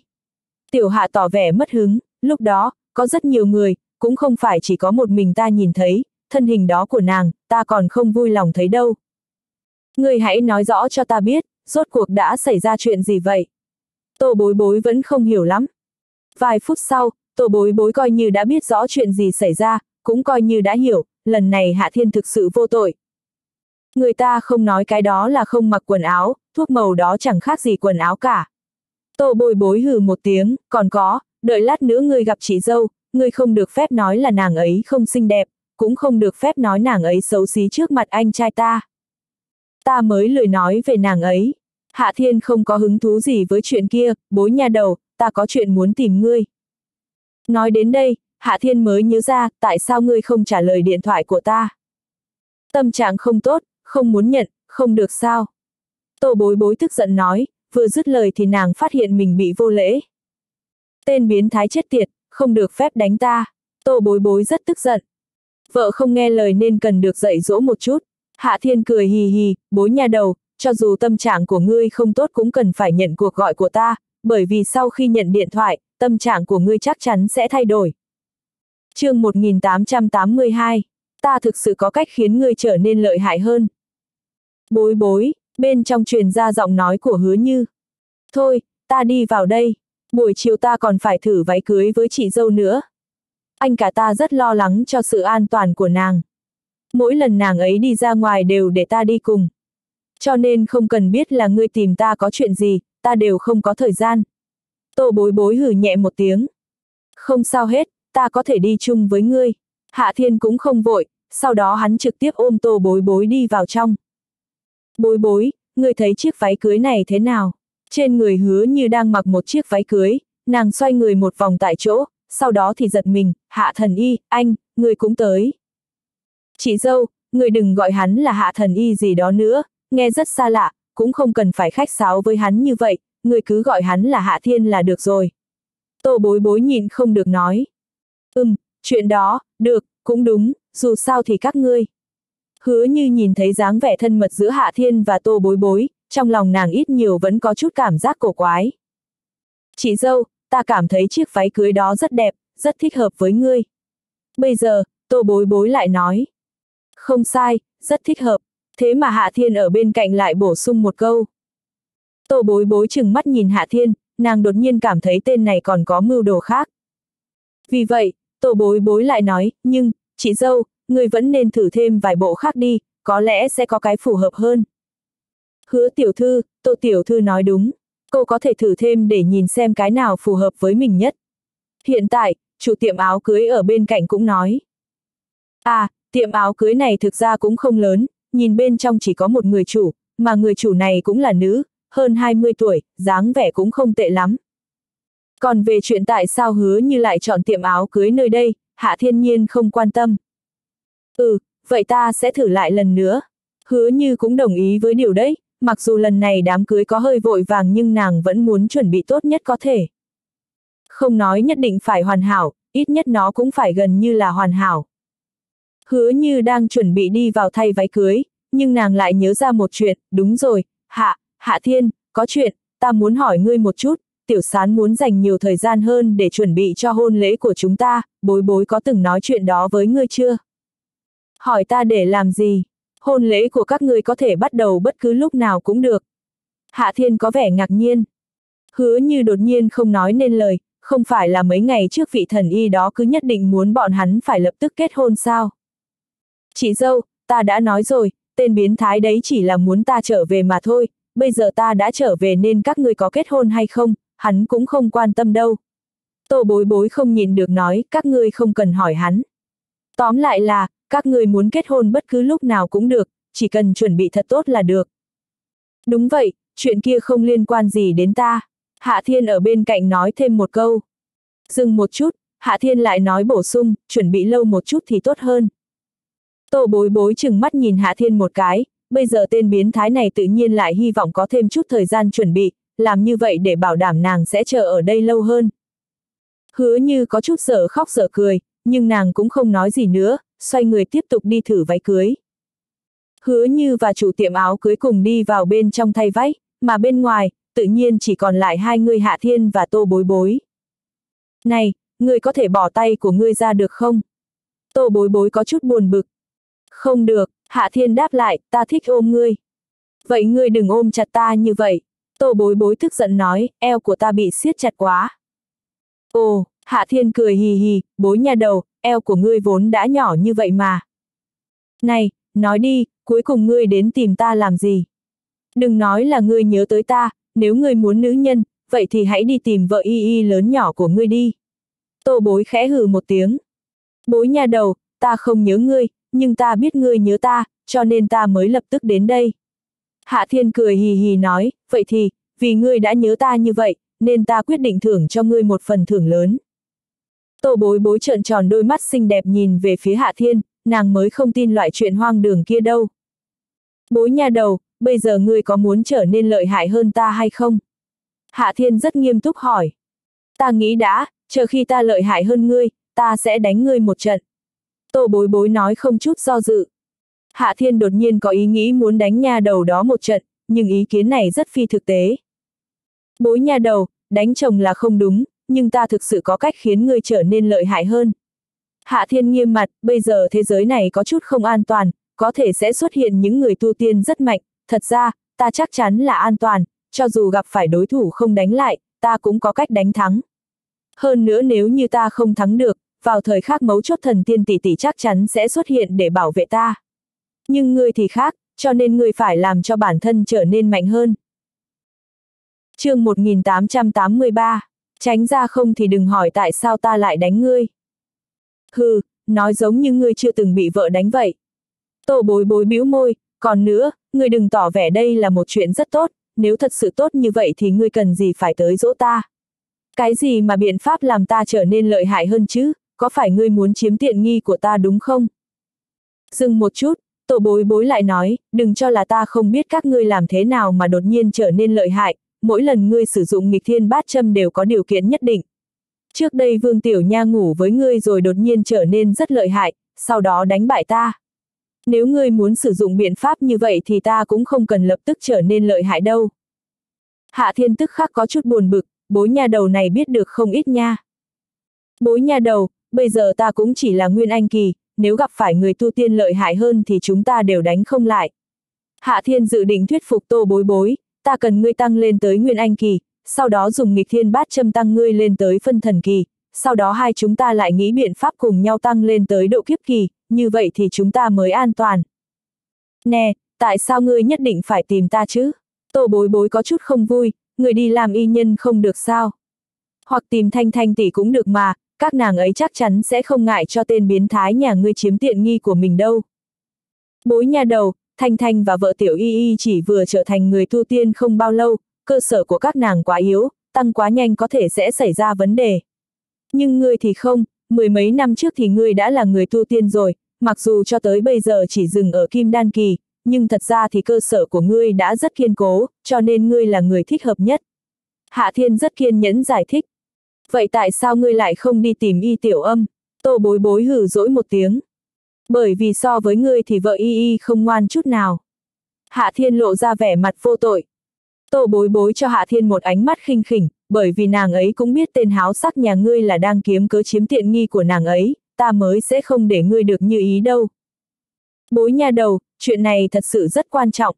Hạ Thiên có chút buồn bực, không ai chịu phối hợp với hắn, điều đó với hắn mà nói thật đúng là phiền toái. Suy nghĩ một chút, Hạ Thiên lại nói, vậy được rồi, bối nha đầu, ta vừa luyện chế ra một chút đan dược dùng để tăng cao tu vi, nhưng tốc độ rất chậm, có điều có còn hơn không? Hạ Thiên lấy ra một cái bình nhỏ rồi đưa cho tô bối bối, ở đây có 7 viên thuốc, mỗi ngày ngươi ăn một viên, ăn xong ta sẽ cho ngươi cái mới. Tên lưu manh chết tiệt, ta biết ngay ngươi còn có biện pháp khác mà. Tô bối bối không có từ chối, giơ tay tiếp nhận thuốc. Vậy ta đi trước, bối nhà đầu, người phải nhớ uống thuốc mỗi ngày đó. Hạ thiên cuối cùng buông tô bối bối ra, chuẩn bị rời đi. Tô bối bối lại trừng mắt với hạ thiên, cái tên biến thái chết tiệt kia, không cho hắn chiếm tiện nghi thì hắn lại đi, thật kỳ quái. Ai, không đúng. Không phải nàng nên hy vọng hắn rời đi sao? Tô bối bối phát hiện mình lại bắt đầu xoắn suýt, ừm, còn có chút hỗn loạn. Bành lệ có ở đây không? Lúc này, có hai người xuất hiện, hỏi. Đây là hai nam nhân, một người hơn 30 tuổi, vóc dáng cao gầy, ánh mắt có chút sắc bén, người còn lại chừng hai mươi mấy, cao lớn vạm vỡ, cho người ta một loại cảm giác tương đối hung hãn. Hạ Thiên và Tô Bối Bối đều nhìn thoáng qua hai người kia, sau đó không thèm để ý tới đối phương. Ta đi trước, người ở nơi này chơi đi. Hạ Thiên đứng dậy chuẩn bị rời đi. Chờ một chút, hai nam nhân ngăn Hạ Thiên lại, người vội vã rời đi như vậy, có phải liên quan gì tới bành lệ không? Nè, đầu óc hai tên ngu ngốc các người có vấn đề à? Hạ Thiên có chút không vui, mau tránh ra, nếu không đừng trách tại sao ta đánh các ngươi. Tiểu tử còn rất phách lối. Ta cho ngươi biết, bành lệ thiếu tiền chúng ta, bây giờ nàng ấy chạy mất, nhưng ngươi quen nàng ấy, vậy thì chúng ta cần phải tâm sự một phen. Nam tử cao gầy hiển nhiên đã nhận định Hạ Thiên có quen biết một người tên Bành Lệ, không phải sao, hắn vừa mới hỏi về Bành Lệ thì Hạ Thiên lại muốn rời khỏi, điều đó thật sự quá trùng hợp. Nhưng hiển nhiên hắn đã sai rồi, hắn còn chưa dứt lời thì đã bay ngược ra ngoài. Hạ Thiên đương nhiên không có hứng thú gì nói nhảm với loại nhân vật tôm tép như vậy, một cước đạp bay đối phương ra ngoài. Người còn dám đánh người. Ách, tên thanh niên vạm vỡ lập tức lao đến, tiếp đó cũng bị Hạ Thiên một cước đạp bay. Thật là đi đâu cũng có thể gặp được kẻ kém thông minh. Hạ Thiên có chút bất mãn, vốn dĩ tâm trạng của hắn đã không tốt rồi. Cái này, cái này là sao vậy? Hiện giờ, bà chủ tiệm áo cưới đi ra, nhưng chỉ có một mình nàng, hiển nhiên hứa như vẫn còn ở bên trong thử đồ. Mà sở dĩ nàng đi ra trước là có chuyện khác, chẳng qua nàng vừa ra tới thì lại thấy Hạ Thiên một cước đạp bay người ta. Bối nha đầu, ta đi trước đây. Hạ Thiên không có hứng thú với bà chủ, hắn lười nhắc đáp lời sau đó biến mất. Bây giờ, tới phiên tô bối bối lên tiếng giải thích một chút, hai người bọn hắn đến tìm một người tên là Bành Lệ, cả hai cho rằng Hạ Thiên quen biết Bành Lệ cho nên cản đường hắn, kết quả bị hắn đánh bay. chương 1884, người bên ngoài kia là Bành Lệ, bà chủ tiệm áo cưới nhíu mày, đó là nhân viên cũ của ta, nhưng mà nàng đã từ chức rất lâu rồi, những người đó tới nơi này tìm nàng để làm gì? Rất tốt, các người còn dám động thủ đúng không? Ta nói cho các người biết, bành lệ thiếu chúng ta mười mấy vạn, các người khôn hồn thì lập tức giao nàng ta ra đây, nếu không đừng trách chúng ta không khách khí. Người nói chuyện là tên nam tử cao gầy, hiện tại, hắn đang lồm cồm bò dậy, dáng vẻ chật vật. Mà khi hắn phát hiện Hạ Thiên đã rời đi, trong tiệm chỉ còn lại hai nữ nhân thì càng trở nên phách lối hơn. Vị mỹ nữ này, ta khuyên ngươi lập tức giao bành lệ ra đây, nếu không coi chừng ta kéo ngươi đi gán nợ. Ách, nam tử cao gầy kêu thảm một tiếng sau đó lại bay ra ngoài. Lần này là bị tô bối bối đá. Đừng đến trước mặt ta tìm cái chết, ngươi cho rằng tô bối bối ta là loại người dễ bị ức hiếp à. Tô bối bối cực kỳ tức giận, lúc này, tâm trạng của nàng cũng không khá hơn chút nào. Ừm, nam tử cao gầy không có trả lời, bởi vì một cước của tô bối bối đã khiến hắn bất tỉnh nhân sự. Mà giờ khắc này, thanh niên vạm vỡ kia cũng đã đứng lên, hắn thông minh không tiến lên động thủ mà ôm nam tử cao gầy rời đi. Nhưng trước khi đi thì hắn lại liếc nhìn cửa hàng một lần nữa, hiển nhiên là muốn ghi nhớ nơi đây vào đầu. Thật xin lỗi tô tiểu thư, ta nghe nói bành lệ mượn nợ số tiền rất lớn ở trên mạng, không ngờ chuyện đó lại mang đến phiền toái cho ngươi. Lúc này, bà chủ ái náy xin lỗi tô bối bối. Không sao, có điều ngươi nên cẩn thận một chút, hai người kia chắc sẽ còn quay lại. Tô bối bối thuận miệng nói, nàng đương nhiên không quan tâm loại chuyện nhỏ nhặt kia, nàng cũng không sợ những người đấy, cùng lắm thì một cước đạp bay. Nhưng đối với tiệm áo cưới này thì chuyện đấy quả thật là tai bay vạ gió. Tô bối bối không quá để chuyện đó ở trong lòng, mà Hạ Thiên càng sẽ không quan tâm loại việc như vậy, hiện giờ, hắn đang dối rắm một chuyện, vợ y y không phối hợp, bối nha đầu cũng không nghe lời hắn, như vậy hắn nên tìm ai giúp hắn đây. Trên thực tế thì người để hắn lựa chọn không nhiều lắm, Triệu Thanh Thanh, Lam Y Nhân, Ninh Nhụy Nhụy vừa mới trở thành người tu tiên không lâu, cũng không quá thích hợp, bây giờ người thích hợp cũng chỉ có A Cửu và nha đầu Thạch Thuần kia. Nhưng hai người đó cũng không phải tuyết người sẽ nghe lời hắn. Thuần Thuần nha đầu chắc chắn sẽ không đồng ý, hơn nữa nàng còn là một kẻ lừa đảo, dáng người cũng không tốt lắm, ta vẫn không nên đi tìm nàng ấy. Hạ Thiên lẩm bẩm, mà cứ như vậy, hình như hắn đã không có sự lựa chọn nào khác. Vẫn là chỉ có thể đi tìm cửu nha đầu sao. Hạ Thiên lẩm bẩm, tiếp theo hắn vẫn cảm thấy, tìm cửu nha đầu còn không bằng hắn tiếp tục suy nghĩ biện pháp thuyết phục vợ y y. Cửu nha đầu quá không nghe lời, lần trước còn muốn hại hắn, nếu bây giờ lập tức biến nàng trở nên quá lợi hại thì cũng không phải là chuyện tốt, suy nghĩ một chút, có vẻ vợ y y vẫn tốt hơn một chút. Ừm, thật ra bối nha đầu mới là tốt nhất. Trong lúc nhất thời, Hạ Thiên không khỏi cảm thấy có chút phiền não. Tuy hắn vẫn luôn nói với bản thân là không vội, nhưng trong lòng hắn vẫn có chút lo lắng, có điều không phải là lo lắng bản thân đánh không lại người của Liên minh tu tiên mà là lo lắng những cô vợ của hắn đang ở Tiên Vân Đại Lục. Một chiếc xe dừng ở bên cạnh Hạ Thiên, giọng nói quen thuộc lại truyền đến lần nữa a anh rể, nhanh như vậy mà ngươi đã bị bối bối tỉ đuổi đi rồi sao? Hạ Thiên vừa quay đầu đã thì thấy hàm hàm, nhưng bây giờ, trên xe nàng còn có thêm một người, đó là một cô gái khá xinh đẹp. Không để ý đến hàm hàm, Hạ Thiên tiếp tục đi dạo trên đường, mà hàm hàm cũng rất khác thường không có tiếp tục đuổi theo, hiển nhiên lần này nàng cũng chỉ thật sự trùng hợp gặp phải Hạ Thiên. Thôi, vẫn nên đi tìm vợ tiểu y y vậy. Tâm trạng của Hạ Thiên không tốt, quyết định đi tìm chuyện làm cho bản thân vui vẻ một chút, mà bây giờ ở thành phố Giang Hải, người chân chính nguyện ý làm hắn vui vẻ hình như cũng chỉ có mỗi Lam Y Nhân.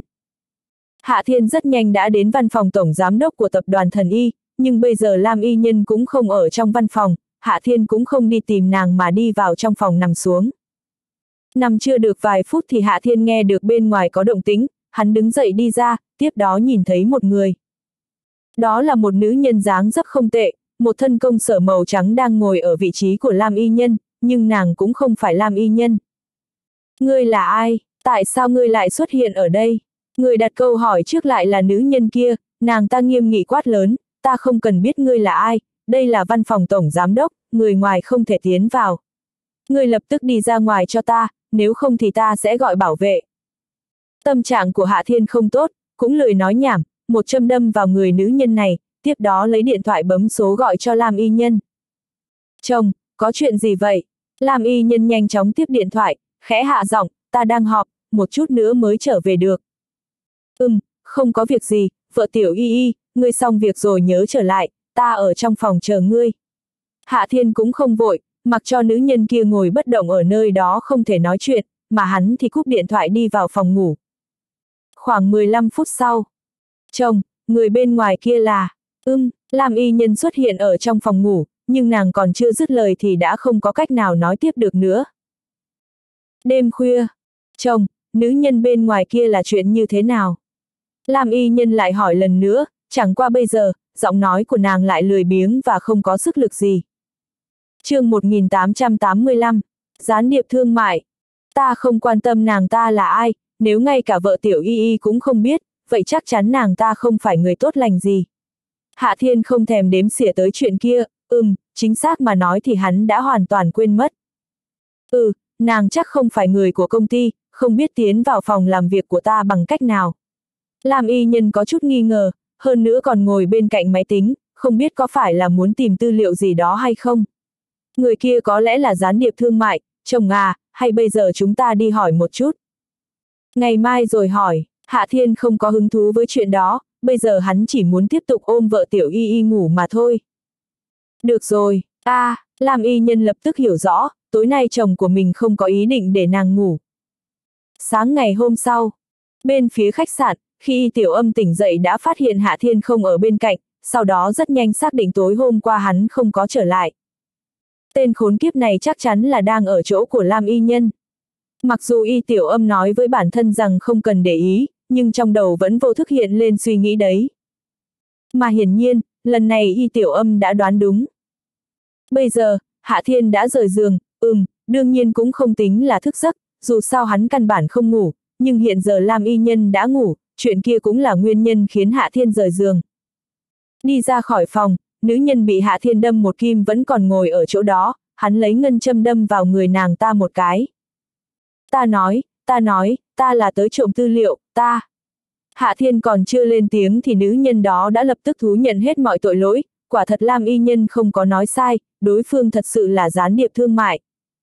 Hôm qua, Hạ Thiên đâm một châm vào nữ nhân kia rồi không để ý tới nữa, nhưng đối với nàng ta thì đó lại là một loại giày vò vô cùng đáng sợ, mới qua một buổi tối thì nàng gần như đã hỏng mất. Cho nên bây giờ có thể mở miệng nói chuyện, nàng lập tức khai báo tất cả. Nữ nhân đấy chỉ là một gián điệp thương mại thông thường, Hạ Thiên không có hứng thú nghe tiếp, nhanh chóng ném đối phương vào phòng an ninh rồi rời đi. Sau khi bước ra tập đoàn thần y, hắn quay trở lại khách sạn, mà bây giờ, y tiểu âm vẫn chưa đi. Thật ra chuyện này cũng rất bình thường, trước đó y tiểu âm vẫn luôn muốn né tránh Hạ Thiên cho nên sẽ đi sớm một chút, nhưng bây giờ hắn không có ở đây, nàng đương nhiên không cần phải vội vàng. Chào vợ y y, ta đi ngủ đây. Hạ Thiên lên tiếng chào hỏi sau đó tiến vào phòng ngủ, ngã vào giường. Đến lúc y tiểu âm đi vào phòng ngủ thì phát hiện Hạ Thiên hình như đã ngủ thật rồi. Một mùi hương thoang thoảng trong không khí, đây không phải là mùi hương trên người nàng, mà điều đấy lại khiến y tiểu âm đột nhiên tức giận, nhưng rất nhanh nàng đã khống chế được bản thân, quay người chuẩn bị đi ra ngoài. Leng keng, tiếng chuông vang lên, điện thoại của Hạ Thiên nhận được tin nhắn, chưa đến một giây thì hắn đã mở mắt, mà hành động đấy lập tức khiến y tiểu âm hoài nghi mới vừa rồi ra hỏa này giả vờ ngủ. Nhưng y tiểu âm cũng lười quản những chuyện kia, tiếp tục đi ra ngoài. Vợ y y, nàng khoan đi đã. Lúc này, Hạ Thiên hô một tiếng. Y tiểu âm coi như không nghe thấy, tiếp tục đi thẳng ra ngoài, chỉ là mới đi được hai bước thì cơ thể nàng tự động bay lên, tiếp đó rơi ở trên giường. khi tiểu âm đang muốn tức giận thì Hạ Thiên lại giành nói trước, bé ngoan đã sắp xếp lại tất cả tư liệu có liên quan tới nghịch thiên bát châm, ta chợp mắt một lúc, nàng nhớ đọc nha. Hạ Thiên đặt điện thoại di động của mình vào trong tay y tiểu âm sau đó nhắm mắt tiếp tục ngủ, chỉ có một điều khiến nàng rất căm tức là tên khốn kiếp kia vẫn còn dùng một tay ôm nàng. Nàng vốn định hất tay Hạ Thiên ra trước, nhưng hiện tại, nàng đã mở tài liệu ra, nội dung bên trong đúng là rất nhiều, rất nhanh nàng đã đắm chìm vào trong đó, cứ như vậy nàng chậm rãi quên mất bản thân còn đang bị hắn ôm. Các tài liệu rất lộn xộn, trong lúc nhất thời y tiểu âm cũng không tìm được cái gì hữu dụng, mà thật ra nàng cũng không trông cậy mình có thể lập tức tìm được thứ gì có ích, nàng chỉ dự định xem qua một lượt. Thời gian chậm rãi trôi qua, không biết qua bao lâu thì hình ảnh trên điện thoại đột nhiên biến đổi, sau đó tiếng chuông vang lên, có người gọi điện thoại cho Hạ Thiên. Hiện giờ, y tiểu âm mới phát hiện đã đến trưa rồi, đồng thời nàng còn giật mình, Hạ Thiên vẫn luôn ôm nàng từ nãy đến giờ. Nhưng vào lúc này hắn không phải ôm eo mà là ôm chân của nàng, đã ôm thì thôi đi, đầu còn gối lên trên đùi nàng. Tên khốn kiếp này còn rất biết hưởng thụ, y tiểu âm thầm mắng ở trong lòng, tiếp đó hô một tiếng, nè, điện thoại của ngươi đang reo đó. Hạ Thiên không có phản ứng gì, vẫn ngủ say như cũ. Y tiểu âm có chút nổi nóng, nàng thật sự muốn cho Hạ Thiên một cái tát hoặc một cái đấm, nhưng cuối cùng nàng vẫn sử dụng một phương thức phù hợp với thân phận bác sĩ của mình. Nàng tìm một cây ngân châm sau đó đâm hai cái vào người của Hạ Thiên, mà lúc ấy, Hạ Thiên cuối cùng cũng tỉnh. chương 1886, Điện thoại của sư nương. Vợ y y, nàng đừng đâm ta, ta còn muốn ngủ một lát. Hạ Thiên mở to mắt nhìn thoáng qua, sau đó lại nhắm hai mắt lại. Nghe điện thoại, y tiểu âm đưa di động tới trước mặt hắn. Ta muốn ngủ, vợ y y, nàng nghe giúp ta đi.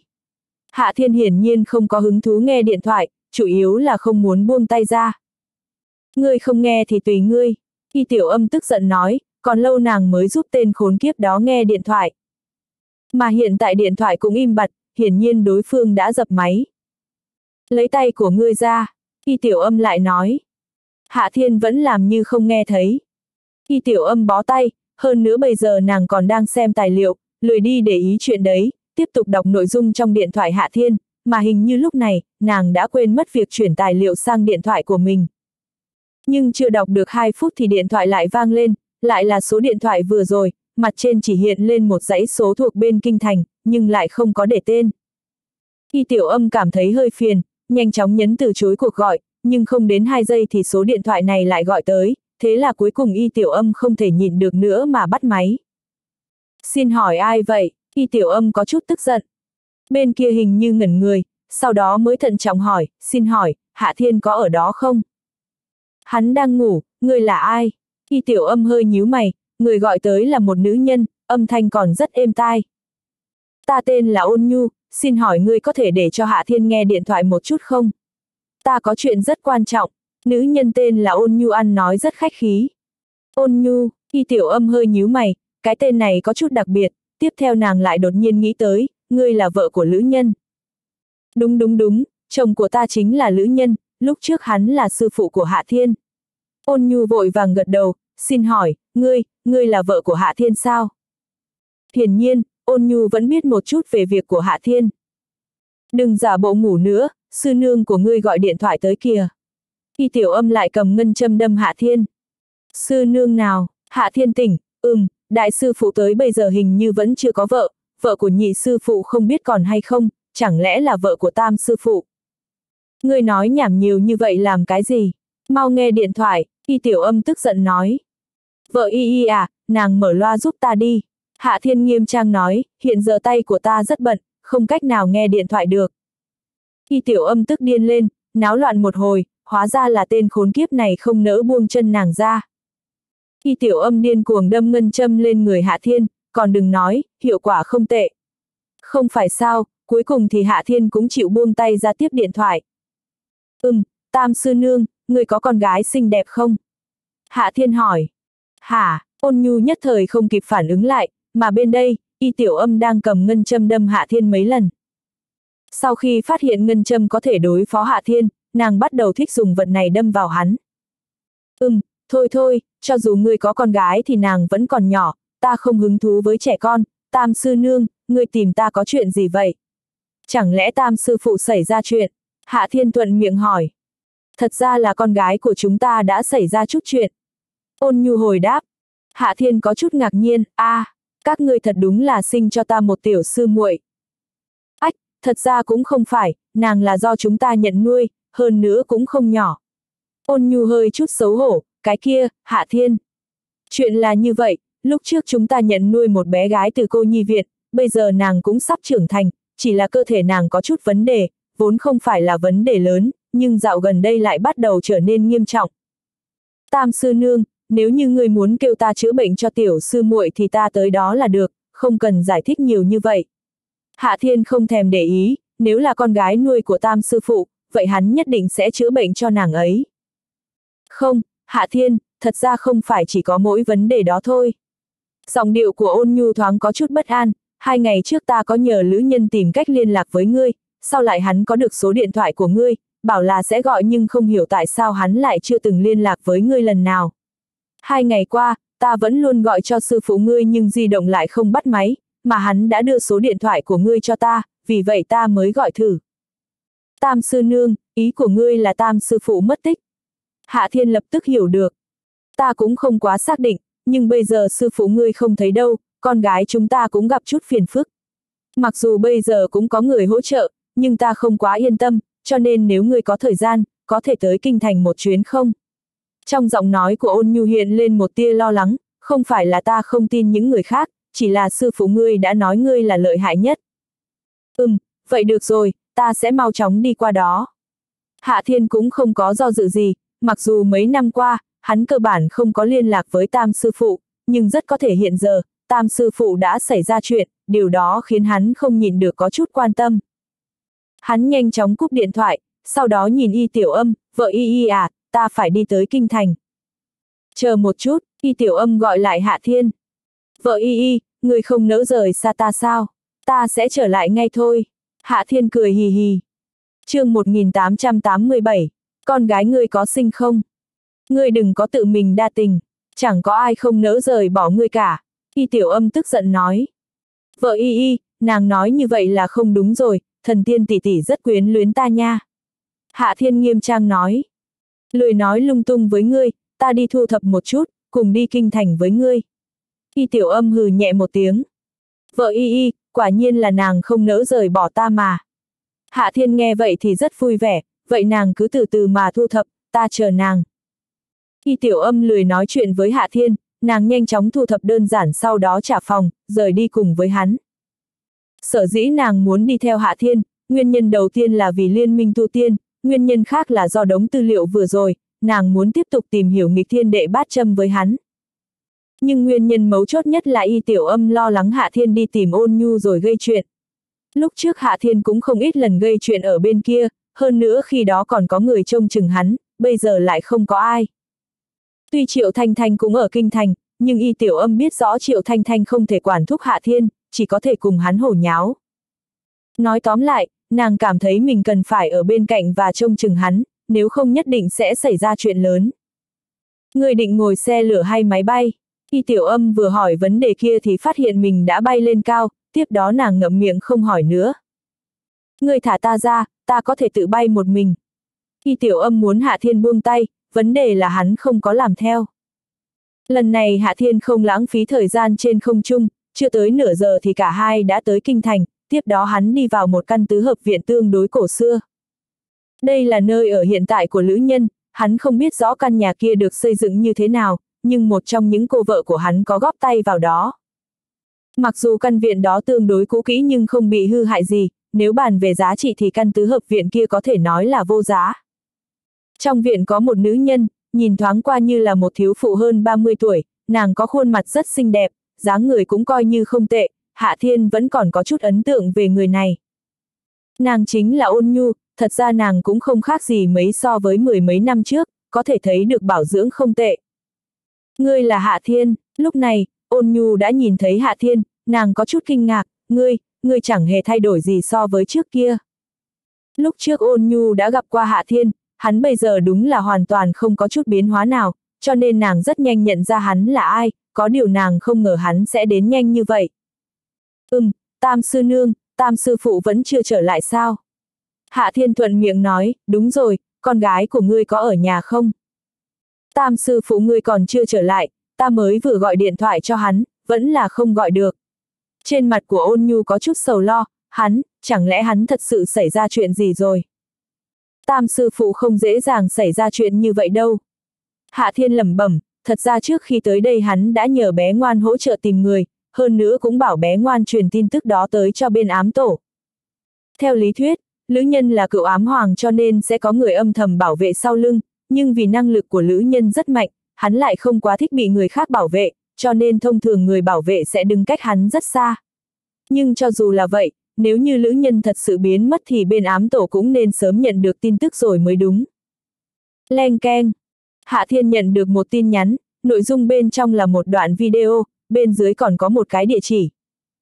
Hử, Hạ Thiên có chút ngạc nhiên, sau đó hắn nhìn ôn nhu, ừm, tam sư nương, ta đi tìm sư phụ một chút, tối nay sẽ trở lại. Hạ Thiên nói xong ôm y tiểu âm biến mất, chỉ để lại ôn nhu ngẩn người tại chỗ. Chuyện gì đã xảy ra? Y tiểu âm không khỏi thắc mắc. Vợ y y, có khả năng là tam sư phụ đã hồng hạnh xuất tường. Hạ Thiên thuận miệng nói. Y tiểu âm lập tức cạn lời, cái gì gọi là hồng hạnh xuất tường? Cái đó không phải là dùng để hình dung nữ nhân sao? Nhưng chuyện đó cũng có nghĩa là nữ nhân tìm nữ nhân khác. Mà mấy phút sau, y tiểu âm đã gặp được nữ nhân, hiện giờ hắn đang ngồi bên cạnh một bể bơi, mà trong hồ bơi thật sự có nữ nhân. Bể bơi thuộc về một tòa biệt thự, điều đấy cũng mang ý nghĩa nữ nhân và nữ nhân trong hồ bơi hơn phân nửa là có quen biết, hơn nữa bây giờ hắn còn đang nhìn nữ nhân kia. Tam sư phụ, xem ra người thật sự hồng hạnh xuất tường nha. Hạ Thiên đi tới ngồi đối diện với nữ Nhân, hắn có chút ngạc nhiên, tiếp đó lại nhìn xuống mặt nước, nhưng tam sư phụ à, tại sao phẩm vị của ngươi lại trở nên kém như vậy? Nữ nhân này còn xấu hơn tam sư nương mấy chục lần. Tiểu tử, sao ngươi lại tới đây? Lữ nhân nhìn thấy Hạ Thiên, hiển nhiên là có chút khó hiểu, nhưng sau đó hắn lập tức hiểu rõ, ôn nhu gọi điện thoại cho ngươi. Tam sư nương cho rằng ngươi xảy ra chuyện gì nên gọi điện thoại cho ta, đúng rồi, ta nghe nói tam sư phụ có một cô con gái, nàng ấy có xinh đẹp không? Hạ Thiên thuận miệng hỏi, điều mà hắn quan tâm nhất hình như chính là chuyện đó. chương 1888, Tam sư phụ gặp phiền toái. Đó là con gái mà chúng ta nhận nuôi, ta không muốn có con, cảm thấy trông con không dễ, nhưng sư nương của ngươi muốn một đứa, cho nên chúng ta nhận nuôi. Lữ nhân tức giận nói, nàng ấy đúng là rất xinh đẹp, nhưng mà có xinh đẹp như thế nào đi nữa thì cũng không thể so sánh với các cô vợ của ngươi, cho nên ngươi cũng đừng mưu đồ gì ở đây cả. Tam sư phụ cũng thật là dài dòng, Người nói thẳng nàng ấy không xinh đẹp là được rồi. Hạ thiên lười biếng nói, còn nữa, cuối cùng thì tình huống hiện giờ của ngươi là gì đây? Ngươi thật sự hồng hạnh xuất tường hay bị lừa bịp? Được rồi, tiểu tử ngươi trở về là được, vấn đề của ta thì ta có thể tự giải quyết, không cần ngươi quan tâm. Lữ nhân lộ ra dáng vẻ không kiên nhẫn, còn có, cho dù ta có tìm một nữ nhân khác thì tiểu tử ngươi cũng không có quyền nói ra nói vào, chẳng lẽ tiểu tử nhà ngươi không biết mình có bao nhiêu cô vợ sao? Không có, ta chưa bao giờ đếm. Hạ Thiên nói rất chân thành. Sau khi nhìn chằm chằm lữ nhân mấy giây, hắn không khỏi lắc đầu, ta nói này tam sư phụ, dù ngươi lớn tuổi, nhưng cũng quá mất mặt rồi, thế mà thật sự bị người ta lừa. Ta nói mình bị lừa lúc nào chứ? Lữ nhân tức giận phản bác, sau đó lập tức yên lặng, được rồi, dù ta bị lừa bịp thì chính ta cũng có thể thu phục. Năm đó ta chính là ám hoàng, chút chuyện nhỏ như vậy còn làm không xong sao. Tam sư phụ, người đừng khoác lác, thật ra ta có chút kỳ quái, bây giờ ngươi còn cái gì tốt để bị lừa vậy? Hơn nữa tại sao lại trùng hợp như vậy, con gái của ngươi mới xảy ra vấn đề thì ngươi đã bị bẫy rồi. Hạ Thiên có chút không rõ ràng cho lắm, ừm, vấn đề quan trọng nhất là, người lừa bịp ngươi chính là nữ nhân trong bể bơi kia sao? Ám Hoàng tiên sinh, dạo gần đây đã xảy ra rất nhiều chuyện, không ít chuyện trên bản chất đều hướng về phía Hạ Thiên, cho nên chuyện kia cũng rất có thể là có liên quan tới hắn, ta tốt nhất là ông vẫn nên nói rõ một chút. Khi tiểu âm cuối cùng cũng nói chuyện. Có việc đó à, lữ nhân hơi hơi nhíu mày, tiểu tử, ngươi lại đắc tội với ai nữa rồi hả? Nhắc mới nhớ, mấy ngày trước ta nghe nói những cô vợ của ngươi đều không thấy đâu, rốt cuộc là chuyện gì xảy ra? Ám hoàng tiên sinh, khi tiểu âm lại lên tiếng. Nhà đầu này, người đừng gọi ta như vậy, khó nghe muốn chết, ta nghe cũng rất xa lạ, cứ gọi ta tam sư phụ như hắn là được rồi. Lữ nhân không khỏi ngắt lời y tiểu âm, ta lớn hơn người mấy chục tuổi, người gọi ta như vậy cũng không có hại gì. Y tiểu âm hơi do dự một chút, sau đó lại nói, ta nghĩ mình vẫn nên gọi ông là Lữ bá bá thì tốt hơn. Tùy ngươi thôi, hai người các ngươi đang có chuyện gì à? Lữ nhân đương nhiên không ngốc, lập tức nhìn ra vấn đề, nhưng nhìn dáng vẻ cả hai bây giờ, chắc cũng không phải chuyện to tát. Lữ nhân không có suy đoán lung tung, dù sao hắn thấy Hạ Thiên vẫn còn đang ôm y tiểu âm. Lữ bá bá, ông đừng hỏi chuyện đấy, nói chuyện của ông đi. Y tiểu âm vẫn rất khách khí với Lữ nhân, ông thực sự bị người khác ám toán sao? Chuyện đó, bây giờ nghĩ lại ta cũng không biết cái gì đã xảy ra. Hai ngày trước, ta đi ra ngoài xử lý ít chuyện, trên đường gặp phải một nữ nhân bị hư xe, nàng ấy nhờ ta hỗ trợ thay lốp, ta nhận lời giúp một chút. Sau đó nàng ấy nói ái náy làm chậm trễ thời gian của ta, muốn đưa ta đi đến nơi ta muốn tới, ta cũng không hoài nghi, lên xe của nàng ấy, sau đó ta ngủ quên ở trong xe lúc nào không hay. Lữ nhân lộ ra vẻ mặt buồn khổ, chờ sau khi tỉnh lại thì ta phát hiện mình đã ở trong căn biệt thự này rồi. Sau đó thì sao, khi tiểu âm không khỏi truy vấn. Tiếp đó nữ nhân kia xuất hiện, nói cái gì mà tối qua ta và nàng ở bên nhau, còn nói cái gì đã quay video. Nhưng vấn đề lớn nhất chính là, ta hoàn toàn không biết nó là thật hay giả, cho nên bây giờ không biết nên làm cái gì mới tốt.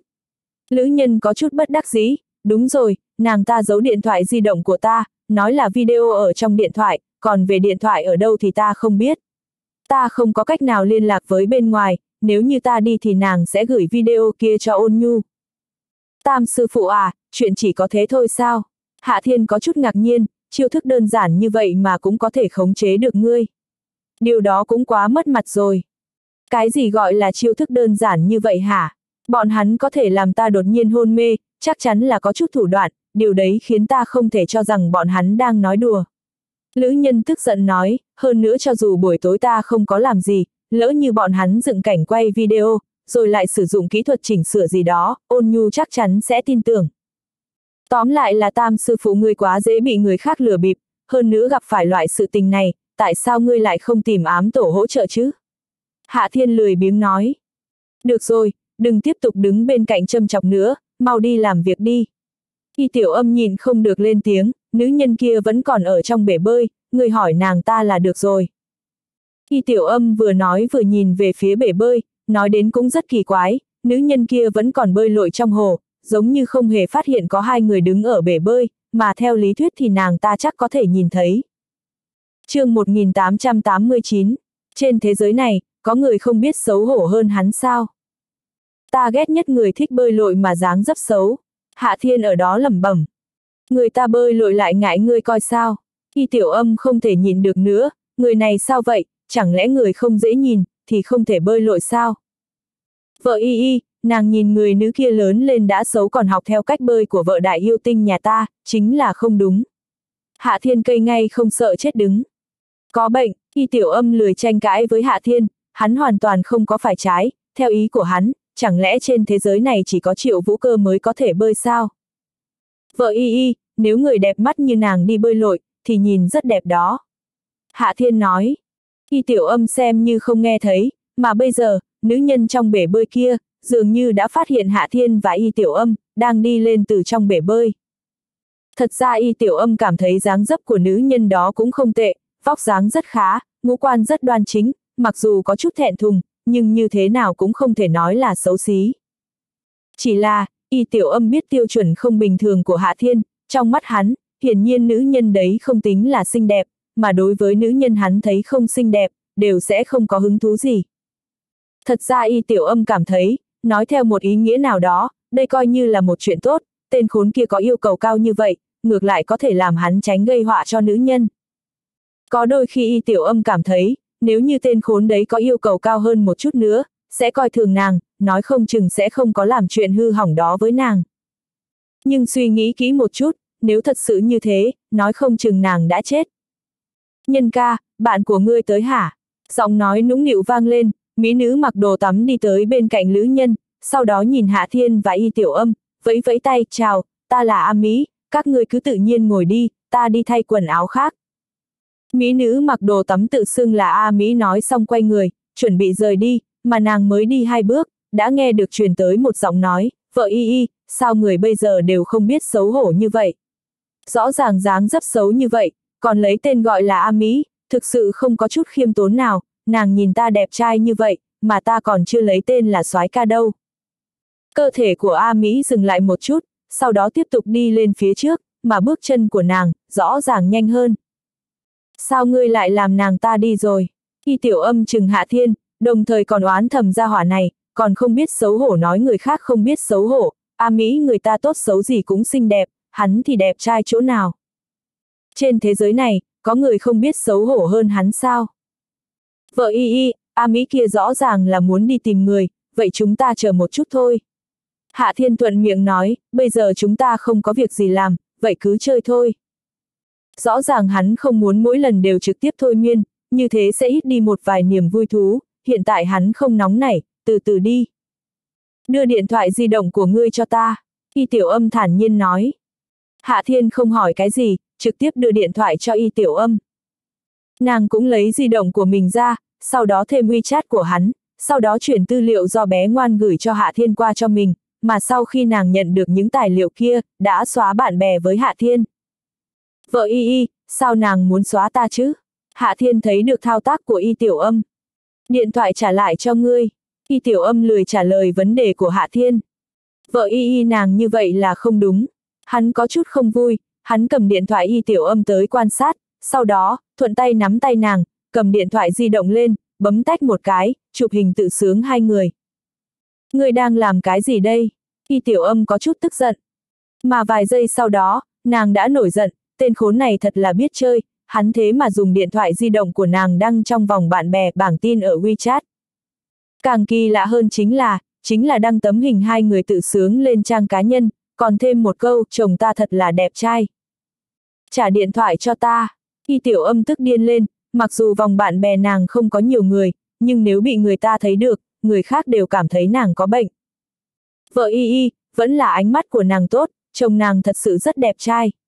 Hạ thiên cười hì hì, đồng thời trả điện thoại di động lại cho nàng.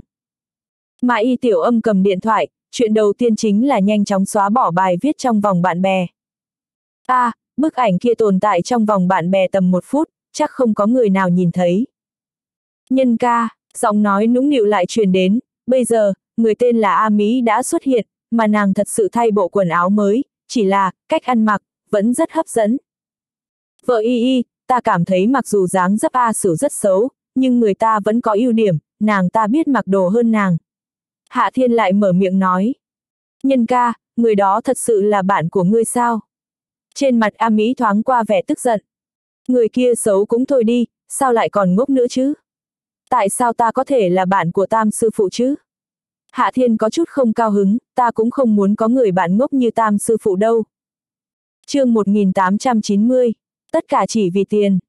Tên tiểu tử chết tiệt nhà ngươi nói ai ngốc, lữ nhân khó chịu, người có trí thông minh như vậy là do chúng ta dạy dỗ đó. Cho nên nói tam sư phụ ngươi ngốc, ngay cả trí thông minh trời sinh mà ngươi cũng không biết. Hạ thiên cười hì hì, ồ, mặt khác, tam sư phụ, ta cảm thấy ngươi rất thảm, mấy ngày nay A sử kia cắm không ít sừng cho ngươi đâu. Tiểu tử ngươi nói tiếng người sao? Cái gì gọi là cắm sừng? Ta không có quan hệ gì với nàng ta. Lữ nhân quay đầu nhìn y tiểu âm, nhà đầu, ngươi phải quản hắn, bây giờ tiểu tử đó càng ngày càng vô lý, trước đây hắn còn không có quá đáng như vậy. Lữ bá bá, ta không quản được, hắn bị người ta dạy hư. Y tiểu âm hồi đáp.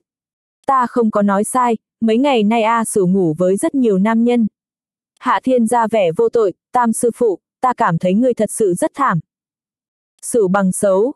Ngươi châm chọc đủ chưa? Y tiểu âm hung ác trợn mắt nhìn Hạ Thiên. Vợ y y, ta chỉ là nói sự thật. Hắn ra vẻ vô tội. Đủ rồi, mấy người các ngươi đừng xem bà đây không tồn tại. A Mỹ bên cạnh không thể nhịn được nữa, nàng cảm thấy mình không cần quan tâm, mà hiện tại, Hạ Thiên không ngừng dùng từ ngữ công kích, cuối cùng nàng ta không còn cách nào ngụy trang được nữa. A Mỹ nhìn về phía Hạ Thiên, cười lạnh một tiếng, ta chẳng muốn quản các ngươi sao lại tới đây, ngươi là đồ đệ của hắn đúng không? Vậy thì rất tốt, bây giờ sư phụ của ngươi thiếu nợ ta một khoản tiền, ngươi thay hắn trả đi. Ừm, tam sư phụ thiếu nợ tiền của ngươi sao? Hạ thiên nhìn A Mỹ, có chút ngạc nhiên, đây không có khả năng, tam sư phụ của ta không ngủ với ngươi, cũng phải đưa tiền sao? Lại nói, ngươi xấu như vậy, tam sư phụ của ta ngủ với ngươi thì chắc là ngươi chiếm tiện nghi, ngươi phải cho hắn tiền mới đúng, nhưng tam sư phụ của ta cũng khá rẻ, một buổi tối 100 đồng là đủ rồi, ngươi cho hắn 100 đồng đi. Tiểu tử thúi ngươi nói hưu nói vượn cái gì vậy? Ta không có bán mình, dù bán cũng không chỉ trị giá 100 đồng. Lữ nhân rất bất mãn. Đừng giỡn với bà đây, con mẹ nó ngươi mới xấu. A Mỹ tức giận đến bùng nổ, tóm lại lão già đó thiếu nợ ta một số tiền lớn, hoặc ngươi lập tức thay lão già đó trả tiền, nếu không thì chuẩn bị chết đuối trong bể bơi với lão già kia. Bang! Hạ thiên tát trên mặt A Mỹ. Mặc dù tam sư phụ của ta có chút già, nhưng không thể cho người kỳ lạ như ngươi mắng hắn già được. Hạ thiên lười biếng nói, sau đó thuận tay lại một cái tát, bang. Ngươi, ngươi dám đánh ta. A Mỹ khó có thể tin, còn chưa dứt lời, lại bị đánh, sau đó hét thảm một tiếng, á. Cái tát tiếp theo của Hạ Thiên, tát A Mỹ kia té trên mặt đất, mà hiện giờ, nàng ta trực tiếp im lặng, hôn mê. Ai, người quái gì, tỉnh. Hạ Thiên lại đá thêm mấy cước trên người A Mỹ, đá tỉnh. Ngươi, các ngươi chết chắc, bà đây, bà đây sẽ không bỏ qua cho đám các ngươi. Á, A Mỹ vừa tỉnh dậy đã uy hiếp Hạ Thiên, sau đó lại bị hắn đá ngất đi. Ngươi không thể trực tiếp thôi miên nàng ta, sau đó biết rõ mọi chuyện, giải quyết nhanh chóng sao. Y tiểu âm có chút tức giận. Nhưng, vợ y y, như thế chơi không vui. Hạ Thiên cười hì hì. Đã đến lúc nào rồi, người chỉ biết chơi. Y tiểu âm tức giận nói, người không thể làm chính sự sao. Y tiểu âm ở trước mặt người ngoài có tính tình tiên nữ, mà trước mặt hạ thiên lại thỉnh thoảng sẽ nổi giận. Vợ y y, nếu như không có thú vị, một chút hứng thú sống cũng sẽ không có. Hạ thiên nghiêm túc nói, à, chuyện đó là ai nói với ta? Cô vợ nào nói với ta vậy? Chắc chắn thần tiên tỷ tỷ sẽ không nói như vậy, cũng không phải là muội muội chân dài. Vợ yêu nữ cũng không ham chơi, hình như là mộng tỷ. Ai, cũng không đúng, mộng tỷ sẽ không nói lời cao thâm như vậy. Ngươi cầm miệng cho ta, nàng không thể nhịn được nữa, đánh gãy hắn, tên khốn đáng chết đó lại bắt đầu kể ra tên từng cô vợ. Lữ lão đầu, ta đã đánh giá thấp ngươi, nghĩ không ra ngươi còn được giúp đỡ. Một giọng nói truyền đến, mà theo giọng nói đó, một đám nam nhân đi tới. Nam nhân cầm đầu chừng 30 tuổi, nhìn qua rất hung hãn, nhưng ánh mắt của lữ nhân, lập tức rơi vào trên người một nam nhân đứng đằng sau. Thì ra là tiểu hỗn đản ngươi dở trò quỷ. Lữ nhân nhìn nam nhân kia. Tam sư phụ, đó ai vậy? Hạ thiên nhìn một chút, phát hiện đó là một nam nhân rất phổ thông, 20 tuổi, bình thường không có gì lạ. Tiểu tử kia, trước đó là bạn trên mạng của Lữ Văn, đã gặp mặt ở ngoài đời, nói là bạn trai của Lữ Văn, ta cho người điều tra một chút, tiểu tử đó chính là một tên lưu manh, đuổi hắn đi, nghĩ không ra rằng tiểu tử đấy lại để mắt tới ta. Lữ nhân nói nhanh. Tốt, Lữ lão đầu, nghe nói nhà ngươi có một căn tứ hợp viện, bây giờ đồ chơi kia rất đáng giá tiền, chúng ta cũng không cần nhiều, ngươi đưa một ngàn vạn là được. Nam tử hung hãn cầm đầu mở miệng, hành động cho tới bây giờ, đến cuối cùng đều chỉ vì tiền mà thôi. chương 1891, thật ra ngươi đã lời rồi. Các ngươi cũng chỉ vì tiền. Lữ nhân hỏi ngược lại, hình như hắn không tin rằng chuyện này chỉ đơn giản như vậy. Lữ lão đầu, chuyện trên thế giới này, cuối cùng cũng vì tiền, vốn chúng ta còn nghĩ tới nhốt ngươi mấy ngày, nhưng ngươi không nghe lời, vụng trộm kêu người đến, vậy ta lười chờ, tóm lại, bây giờ ngươi có thể đi, ta cho ngươi ba ngày xoay tiền, còn hai vị kia, ở lại nơi đây. Ánh mắt của nam tử hung hãn kia rơi vào trên người y tiểu âm, sau đó con người thiếu chút nữa đã rơi ra, con mẹ nó, vừa nãy không thấy rõ, thế mà cô nàng kia lại xinh đẹp như vậy. Tiên nữ, lão đại, đây quả là tiên nữ. Quá đẹp, đẹp hơn cả A Mỹ. Nói nhảm, A Mỹ gì, so sánh với người ta, đó chính là A Sửu. Lão đại lão đại, tiền muốn hay không không liên quan, phải giữ cô nàng đó lại. Một đám người nhìn chằm chằm vào y tiểu âm, dường như lúc này đối với bọn hắn mà nói, tiền đã là chuyện nhỏ, ngược lại thì đại mỹ nhân như vậy, nhất định phải giữ lại. Lữ lão đầu, thật đúng là nhìn không ra, người thế mà quen được cô nàng xinh đẹp như vậy. Nước bọt của nam tử hung hãn chảy ra dòng dòng, hắn nhìn chằm chằm vào y tiểu âm, mỹ nữ, chúng ta làm quen một chút. Á! nam tử hung hãn còn chưa dứt lời, một tiếng hét thảm, hạ thiên lại ra tay rồi. Người xấu như vậy thì đừng nghĩ làm quen với vợ ta. Hạ thiên bất mãn, sau đó lại là một cước, tên ngu si như ngươi, còn muốn đánh chủ ý lên vợ của ta. Tiểu tử ngươi tự tìm cái chết, ngươi dám đánh lão đại chúng ta. Á! đậu ngóa, giết chết hắn. A! đánh hắn, đánh hắn. Á! chân của ta. A! một đám người kêu gào, rất nhanh từ hét dầm dí biến thành kêu thảm, những người kia đánh chủ ý lên người y tiểu âm, tất nhiên Hạ Thiên không thể nhịn. ngươi tên tiểu tử này, trọng sắc khinh thầy, thực sự là mấy chục năm đều không thay đổi. Lữ nhân ở bên cạnh lắc đầu, lúc trước đám người đó tìm hắn gây sự, Hạ Thiên còn đứng ở bên cạnh chơi, dính đến y tiểu âm, hắn đã lập tức tức giận ra tay. Tam sư phụ, đây chính là nguyên nhân ta có thể tìm rất nhiều vợ. Hạ Thiên nghiêm túc nói, mà hắn vừa nói vừa đánh đám người kia một trận, mỗi người bị đá đều kêu rên liên hồi, bắt đầu cầu xin tha thứ. Đại ca, đừng đá. Ta, cái gì ta cũng nói. Ta, á. Đại ca, lão đại, ta sai rồi, ta thật sự không dám, không phải ta. Ta. Một đám ngu ngốc, ai muốn các ngươi nói. Hạ thiên có chút bất mãn, ta chỉ muốn đá các ngươi chơi mà thôi. Rõ ràng, hắn đánh người cũng chỉ vì đánh người, không phải vì bức cung, với hắn mà nói, muốn bức cung, còn không bằng trực tiếp châm mấy châm. Đánh đám người chừng 10 phút, cuối cùng Hạ Thiên mới bắt đầu làm chính sự, mà thật ra vẫn vì y tiểu âm ở bên cạnh thúc giục, làm chính sự lại tương đối đơn giản, nói trắng ra là châm mấy châm. Còn về hỏi thăm, vị lữ nhân kia đã từng phụ trách ám hoàng, thỉnh thoảng đứng ở bên cạnh y tiểu âm chen vài lời, mà sở dĩ nàng ấy hỏi, chỉ muốn biết rõ những chuyện này có quan hệ với tổ chức diệt thần gì đó không. Mỗi một chuyện liên quan tới Hạ Thiên, y tiểu âm đều nghi ngờ bọn hắn có liên quan tới tổ chức diệt thần gì đó, nhưng, lần này, nàng đã suy nghĩ nhiều. Sau khi hỏi mỗi người một lần, y tiểu âm phát hiện, thật ra những người kia chính là một nhóm người phạm tội, nhóm người phạm tội đó bắt đầu bằng lừa gạt, sau đó tiến hành dọa dẫm bắt chẹt, mà bọn hắn phạm tội không ít, khỏi cần phải nói, biệt thự hiện tại của bọn hắn, chính là bọn hắn lừa gạt mà có. Mà mặc dù lữ nhân bị để mắt tới, cũng do con gái nuôi Lữ Văn của Lữ Nhân rước lấy, đương nhiên, thật ra không tính là Lữ Văn sai, những người đó từ trong miệng bạn trai cũ của Lữ Văn biết được bên trong ngôi nhà kia có một lão già và một nữ nhân cộng thêm một nữ hài tử hơi tàn tật, lại có một căn tứ hợp viện rất đáng tiền, cảm thấy đây là một mục tiêu rất tốt, sau đó bắt đầu hành động. Từ Lữ Văn biết qua một chút chuyện trong nhà, nghe nói Lữ Nhân ôn nhu và có tình tính rất tốt, bọn hắn đã gài một cái bẫy, thật ra cũng là cái bẫy bọn hắn thường dùng. a à, vì gài bẫy, A Mỹ kia đã làm như thế mấy lần. Đến nỗi video dùng để uy hiếp lữ nhân, đó thật sự có. Tam sư phụ ngươi thật thê thảm, thế mà ngươi thật sự ngủ với nàng ta. Hạ thiên vẫn không quên đả kích lữ nhân. Ngươi không nói lời đó sẽ chết sao? Y tiểu âm lại chừng hạ thiên. Ừm, tam sư phụ, thật ra ngươi đã rất lời, ngủ với nữ nhân kia một lần không trả tiền. Hạ thiên đổi ý kiến. Y tiểu âm chán nản, hắn thực sự là không có thuốc nào cứu được.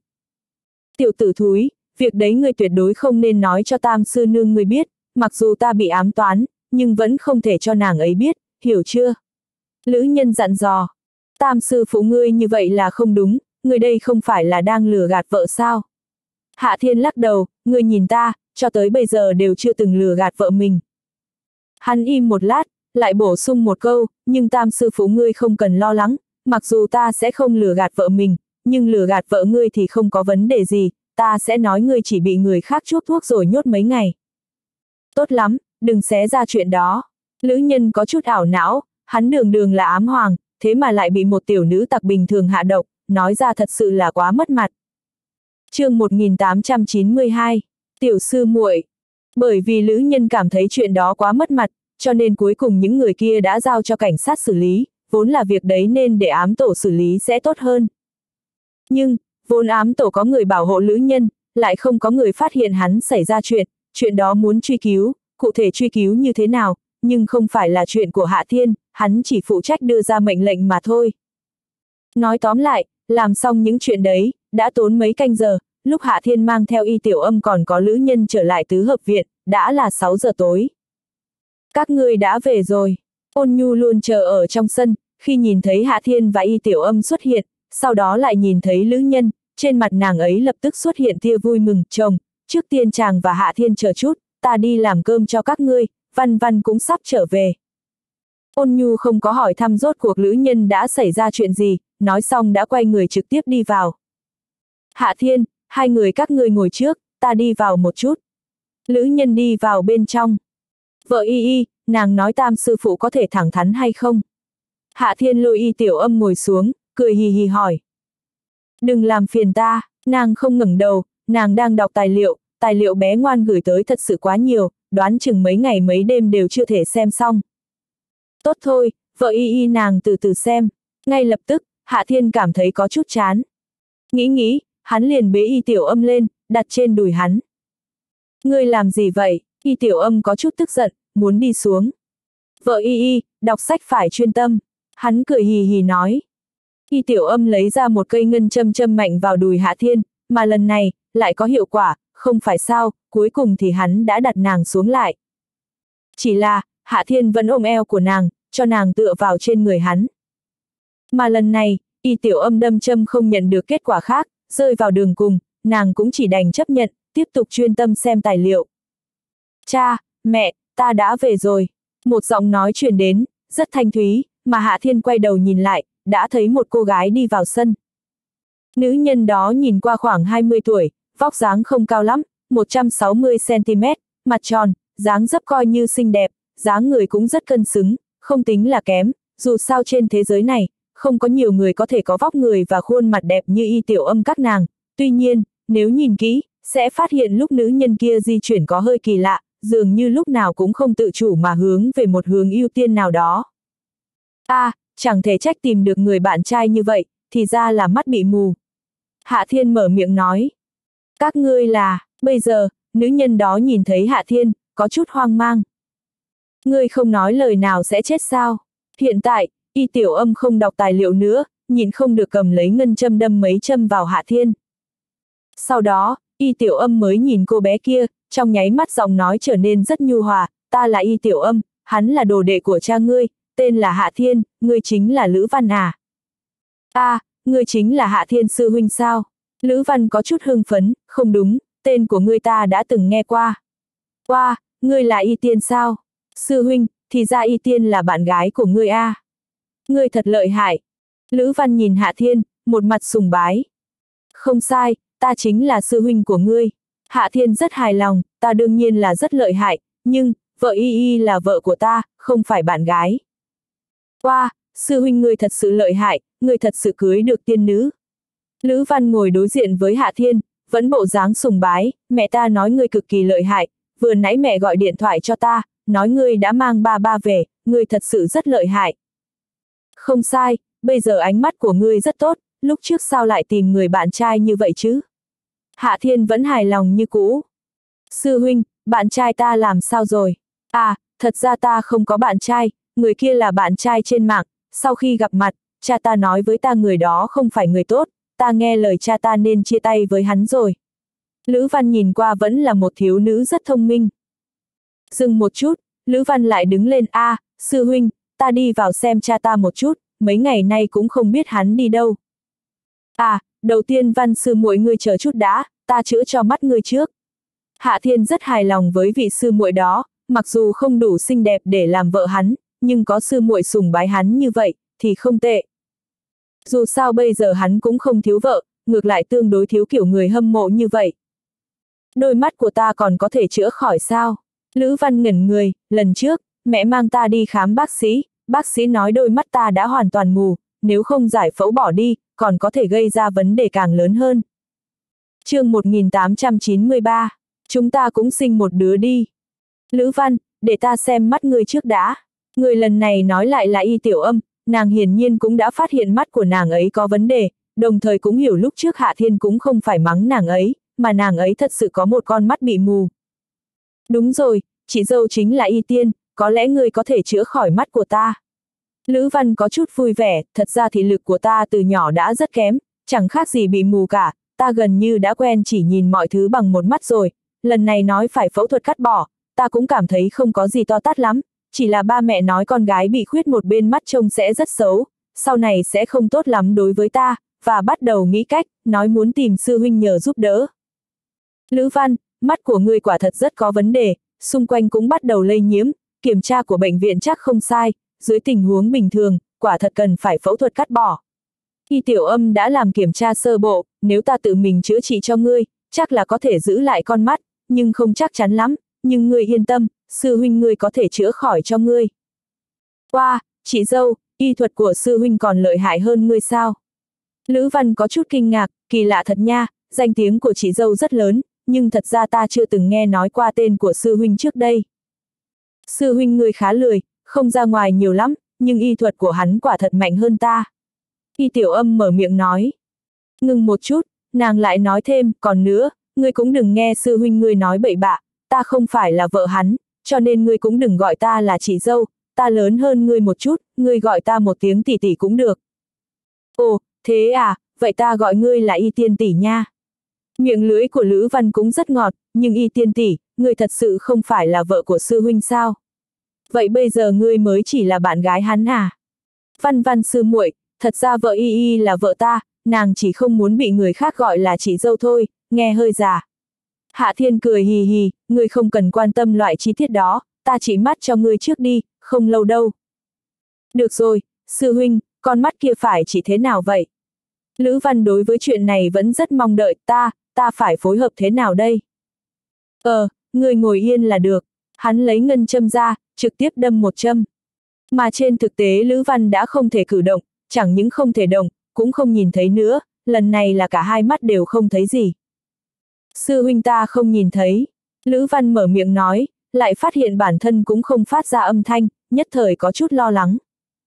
Cũng may, bây giờ nàng ấy nghe thấy giọng nói của y tiểu âm, Lữ Văn, ngươi hiện giờ không nhìn thấy, cũng không thể nói, nhưng ngươi không cần lo lắng, kiên trì vài phút nữa là được.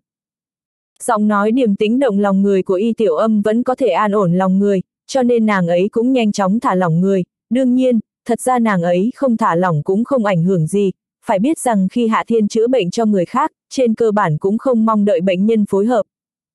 Mà sự thật như y tiểu âm nói, quá trình chữa trị đó chỉ mất vài phút mà thôi. Đây là một loại bệnh mà nàng cũng không chắc có thể chữa trị, hắn trực tiếp sử dụng nghịch thiên bát châm, quá trình kia rất nhanh, trên thực tế cũng chỉ mất 3 phút. Được rồi, giọng nói của Hạ Thiên lại lần nữa truyền vào tai Lữ Văn, mà trong nháy mắt, nàng cũng cảm thấy thế giới của mình đã sáng hơn rất nhiều. Dù rằng hiện giờ đã là trạng vạng tối, nhưng nàng vẫn cảm thấy sáng hơn, thậm chí có loại cảm giác như bình minh đến. Ta, mắt của ta thật sự ổn rồi sao? Lữ Văn có chút khó tin, mắt trái của nàng vốn dĩ không nhìn thấy, mà hiện giờ, nàng thử nhắm mắt phải lại, phát hiện thế giới vẫn sáng như cũ, nói cách khác, mắt trái của nàng thật sự có thể nhìn thấy rồi. Mà trên thực tế, không chỉ có thể nhìn thấy, thì lực mắt phải của nàng lúc trước thật ra cũng không tốt lắm, nói đơn giản thì tương đương với cận thị, nhưng hiện giờ, không chỉ mắt trái của nàng khôi phục ánh sáng, ngay cả thị lực mắt phải cũng hoàn toàn bình thường, đã không còn cận thị gì nữa. Ổn rồi, thật sự ổn rồi, y tiên tỷ, mắt của ta thật sự ổn rồi. Qua, wow, sư huynh ngươi thật lợi hại, ta, ta muốn đi vào nói với mẹ. Lữ Văn bật dậy khỏi ghế, xoay người chạy vào bên trong, chỉ là lại lảo đảo một cái, suýt ngã xuống đất. À, Văn Văn sư muội, người cần chút thời gian để thích ứng, người trước kia đi đường đều không bình thường, hiện giờ trong một thời gian cũng không thể trở lại bình thường được. Hạ Thiên nhắc nhở một câu. Cảm ơn sư huynh, ta biết rồi. Lữ Văn bước chậm lại một chút, nhưng vẫn nhanh hơn rất nhiều so với bình thường. Lữ Văn nhanh chóng biến mất khỏi tầm mắt của Hạ Thiên, mà lúc này, hắn rất nghiêm túc hỏi y tiểu âm, vợ y y, nàng nói xem tam sư phụ của ta có phải có sở thích hơi đặc biệt không? Có ý gì? Y tiểu âm không hiểu hắn đang nói cái gì. Nàng xem vợ của tam sư phụ vốn dĩ là vợ của người khác, con gái hắn vốn dĩ cũng là con gái của người khác, nàng không cảm thấy hắn rất thích thứ gì đó của người khác sao? Hạ thiên nghiêm túc nói, ta cảm thấy cái sở thích đấy rất đặc biệt, so ra thì ta khá bình thường, chỉ thích vợ của mình thôi, ừm, nhưng ta không có con gái, vợ y y chúng ta có nên sinh một đứa không? Ngươi mới không bình thường, y tiểu âm tức giận nói chương 1894, qua uống rượu với sư phụ đi. Thôi, nghĩ đi nghĩ lại vẫn nên quên đi, con gái của ta chắc chắc rất xinh đẹp, vậy chẳng phải tiện nghi cho kẻ khác sao? Hạ thiên lẩm bẩm một mình, vẫn nên sinh con trai tốt hơn, đẹp trai giống ta, có thể đi gieo họa cho kẻ khác, a à, không đúng, ta đã có một đứa con trai rồi mà. Hạ thiên im lặng một lát, lại nói thêm, nhưng có thể sinh nhiều thêm mấy đứa con trai nữa mà, dù sao ta cũng đẹp trai như vậy, không cung cấp cho thế giới này thêm nhiều soái ca thì thật đáng tiếc. Ngươi nói xong chưa, y tiểu âm không nhìn được nữa. Chưa, vợ y y, hay chúng ta sinh một đứa con trai đi. Hạ thiên cười hì hì. Trời còn chưa tối, ngươi đừng nằm mơ nữa. Y tiểu âm hừ nhẹ một tiếng, muốn nàng sinh cho hắn một đứa con trai sao, nghĩ hay thật. Ờ, thật ra không sinh cũng không sao, thật ra ta cũng không thích trẻ con lắm. Hạ thiên đối với việc đó vẫn không để ý, hắn quả thật cũng không yêu thích đặc biệt gì với trẻ con. Mà y tiểu âm rất tin lời của Hạ Thiên, người kia thoạt nhìn không phải là loại thích trẻ con. Không muốn nói vớ vẩn với hắn nên nàng tiếp tục xem tài liệu, chỉ là hắn đang rất nhàm chán, cho nên vẫn đang nói chuyện. Vợ y y, hay chúng ta đi thôi, tam sư phụ ở đây cũng không có chuyện gì, tiểu sư muội đã được chúng ta chữa khỏi rồi, chúng ta có thể quay về Giang Hải, nếu nàng không muốn trở về, chúng ta có thể đi tìm một khách sạn ở lại. Hạ Thiên đề nghị. a à, không được đáp lại, y tiểu âm chẳng buồn trả lời. Vợ y y, nàng không nói gì là ngầm đồng ý rồi, chúng ta vẫn nên đi khách sạn thuê phòng đi. Hạ Thiên nói xong liền muốn ôm y tiểu âm, đến lúc ấy, nàng không thể không nói. Buông ta ra, nàng có chút tức giận, muốn đi thì ngươi đi khách sạn một mình đi, bây giờ ta không đi. Vợ y y, nàng không đi khách sạn chẳng lẽ muốn ở lại đây ăn cơm sao? Hạ Thiên có chút khó hiểu, ta cảm thấy chủ nghệ của Tam Sư Nương chắc không được tốt lắm đâu, chúng ta vẫn nên đi khách sạn ăn cơm đi. Ta chỉ muốn ở đây ăn cơm, được không? Y tiểu âm vốn dĩ không nghĩ như vậy, nhưng hiện giờ quyết định dùng lý do đó. Ờ, vợ y y, nàng muốn ở lại ăn cơm thì cứ nói, ta chắc chắn sẽ ở lại với nàng mà. Hạ Thiên vốn đã đứng dậy, hiện giờ lại ngồi xuống. a à, hắn cũng không có buông y tiểu âm ra, mà đặt nàng ngồi trên đùi hắn. Sư huynh, y tiên tỷ, một giọng nói thanh thúy truyền đến, chính là Lữ Văn, mà khi nàng nhìn thấy dáng vẻ thân mật giữa hai người, nhất thời ngẩn người a, à, xin lỗi, chuyện đó, sư huynh, các ngươi, các ngươi cứ tiếp tục. Lữ Văn, có chuyện gì sao? Ngược lại y tiểu âm rất bình tĩnh. Ừm, mẹ bảo ta đi gọi các ngươi vào ăn cơm, nhưng ba ta đề nghị ăn trong sân, cho nên bảo ta đi hỏi sư huynh và y tiên tỷ thử xem, các người muốn ăn ở đâu. Lữ Văn đáp, ăn trong sân đi, Hạ Thiên trả lời. Ờ, được, vậy ta đi nói cho mẹ biết. Lữ Văn nói xong, vội vàng xoay người lại đi vào trong, mà nhìn dáng vẻ bước đi của nàng, nàng thích ứng cũng khá nhanh, trên cơ bản không nhìn ra có gì không ổn. Rất nhanh, Lữ Nhân, Ôn Nhu và Lữ Văn đều từ bên trong đi ra, trên tay còn bưng đồ ăn, trong sân có một cái bàn đá, tuy không lớn lắm, nhưng vẫn đủ dùng cho 5 người ngồi ăn cơm, chỉ là thiếu một cái ghế. Nhưng rất nhanh Lữ Văn lại chạy vào trong mang ra thêm một cái ghế, chỉ là đợi nàng mang ghế ra thì cảm thấy hình như chẳng có tác dụng gì, bởi vì nàng phát hiện Hạ Thiên và Y Tiểu Âm đều ngồi bên cạnh bàn, mà hai người bọn hắn chỉ chiếm một vị trí. Nguyên nhân rất đơn giản, Hạ Thiên vẫn đang ôm Y Tiểu Âm. Nào, vợ Y Y, ta đút cho nàng ăn. Hạ Thiên vừa nói vừa trực tiếp động, gắp một miếng thịt đưa vào miệng Y Tiểu Âm.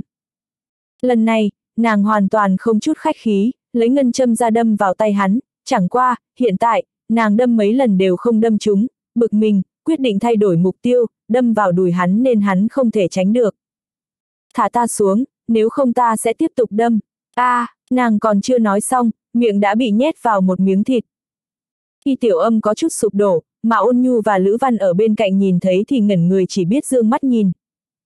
Ta nói này tiểu tử, người đừng chỉ chăm chăm thể hiện tình cảm với nhà đầu kia, qua uống rượu với sư phụ đi. Lữ nhân không nhìn được nói. Tam sư phụ, người có từng nghe nói qua câu say rượu loạn tính chưa? Cho nên người vẫn đừng nên uống rượu nữa, dù sao tử lượng của ngươi cũng rất kém. Hạ thiên nghiêm túc nói, nhìn dáng vẻ của hắn như vậy, hiển nhiên là không có hứng thú uống rượu với tam sư phụ rồi. Tiểu tử chết tiệt, đã bao nhiêu năm rồi, người vẫn trọng sắc khinh sư như vậy. Lữ nhân có chút buồn bực, quên đi, tiểu tử ngươi thích uống hay không thì tùy, ta tự uống một chút. Lữ bá bá, ngươi thích uống rượu gì? Bây giờ, y tiểu âm lại mở miệng nói, ngươi muốn uống gì cũng được, ta sẽ bảo hắn mang tới cho ngươi. Ô, nhà đầu, không cần đâu, ta đây có rượu, văn văn, ngươi đến thư phòng của ta lấy bình rượu đỏ ra đây. Lữ nhân cười cười, sau đó nhìn về phía hạ thiên, tiểu tử, vẫn là vợ ngươi hiểu chuyện, không giống ngươi, chẳng biết tôn kính thầy gì cả. chương 1895, ra ngoài chơi đi. Vợ y y không ngoan lắm, thường không nghe lời ta. Hạ thiên cười hì hì, tuy nhiên, ta vẫn rất yêu nàng ấy, cho nên nàng ấy muốn ta uống với tam sư phụ ngươi, vậy ta sẽ thỏa mãn nàng ấy. Hắn chớp mắt, bổ sung một câu, nhưng nếu sau khi uống rượu tam sư phụ ngươi bị người ta lừa, thì ta không liên quan gì đâu nhé. Ngươi đừng nói nhảm nữa. Nàng thì thầm, gia hỏa này nhất định phải nói với sư phụ hắn điều đấy sao? Tiểu tử thúi, sao ta có thể dễ dàng bị lừa như vậy chứ? Lữ nhân có chút không hài lòng, năm đó ta là ám hoàng uy nghiêm, trên thế giới này rất ít người lợi hại hơn ta. Tam sư phụ, người không biết hảo hán thì không nên nhắc tới bản lĩnh thời quá khứ sao. Hơn nữa năm ba tuổi, ta so với ngươi đã lợi hại hơn rồi, ngươi thấy ta đi đến chỗ nào cũng có người bàn tán không? Hạ thiên cười hì hì nói. Gì, sư huynh, ngươi thực sự lợi hại như vậy sao? Lúc này, Lữ Văn đã bưng rượu ra, có chút hâm mộ lại có chút kinh ngạc. Văn Văn, đừng nghe lời sư huynh đó của ngươi, hắn ba tuổi chỉ mới là đứa trẻ, sao có thể lợi hại hơn so với ta được chứ? Lữ nhân nói đến đây thì trừng mắt với hắn, tiểu tử, đừng nói về Nguyệt Tiên Tử nữa, đó không phải sự lợi hại của ngươi. Không đợi Hạ Thiên lên tiếng, Lữ nhân lại nói, bỏ đi, không nói những chuyện kia nữa, văn văn, đưa rượu cho sư huynh ngươi, để hắn rót rượu. Lữ văn đưa rượu đỏ cho Hạ Thiên, hắn nhận lấy, sau đó, một tiếng nổ nhẹ vang lên, nút chai tự động bay ra, rượu đỏ cứ thế được mở ra như vậy. Vợ y y, nàng muốn uống một ly không? Hạ thiên cười hì hì hỏi. Tùy ngươi, y tiểu âm tức giận nói. Thôi, bỏ đi, dù sao ta cũng không làm cho nàng say được. Hạ thiên lẩm bẩm. Sư huynh, người rất muốn làm cho y tiên tỷ sai sao? Lục văn ở bên cạnh tò mò hỏi.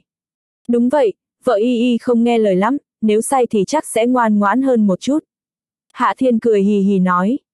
Gì cơ, Lữ Văn ngẩn người, sư huynh, chẳng lẽ người muốn đợi y tiên tỷ say rồi làm chuyện xấu với tỷ ấy à? Ừm, chính là ý tưởng đấy.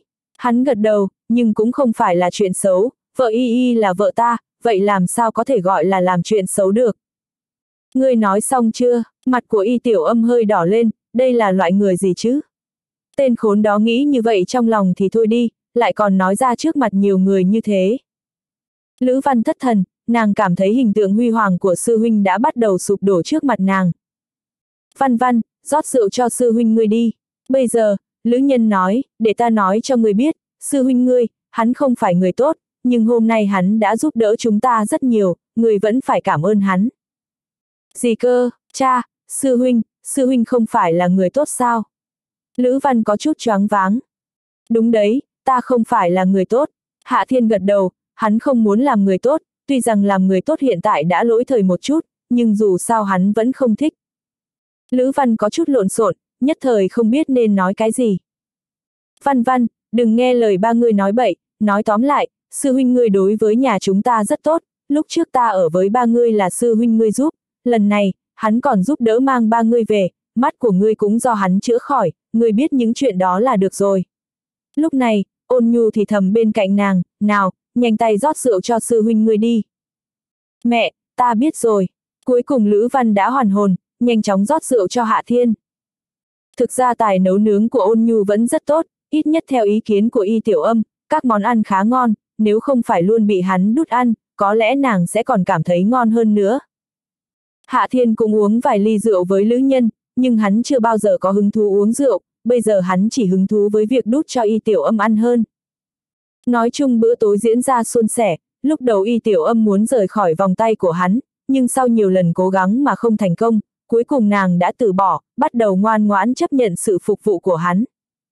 Mà, đương nhiên đây là trạng thái trong mắt của Lữ Văn, theo quan điểm của nàng, quan hệ giữa vị sư huynh này và y tiên tỷ xinh đẹp kia thực sự rất tốt.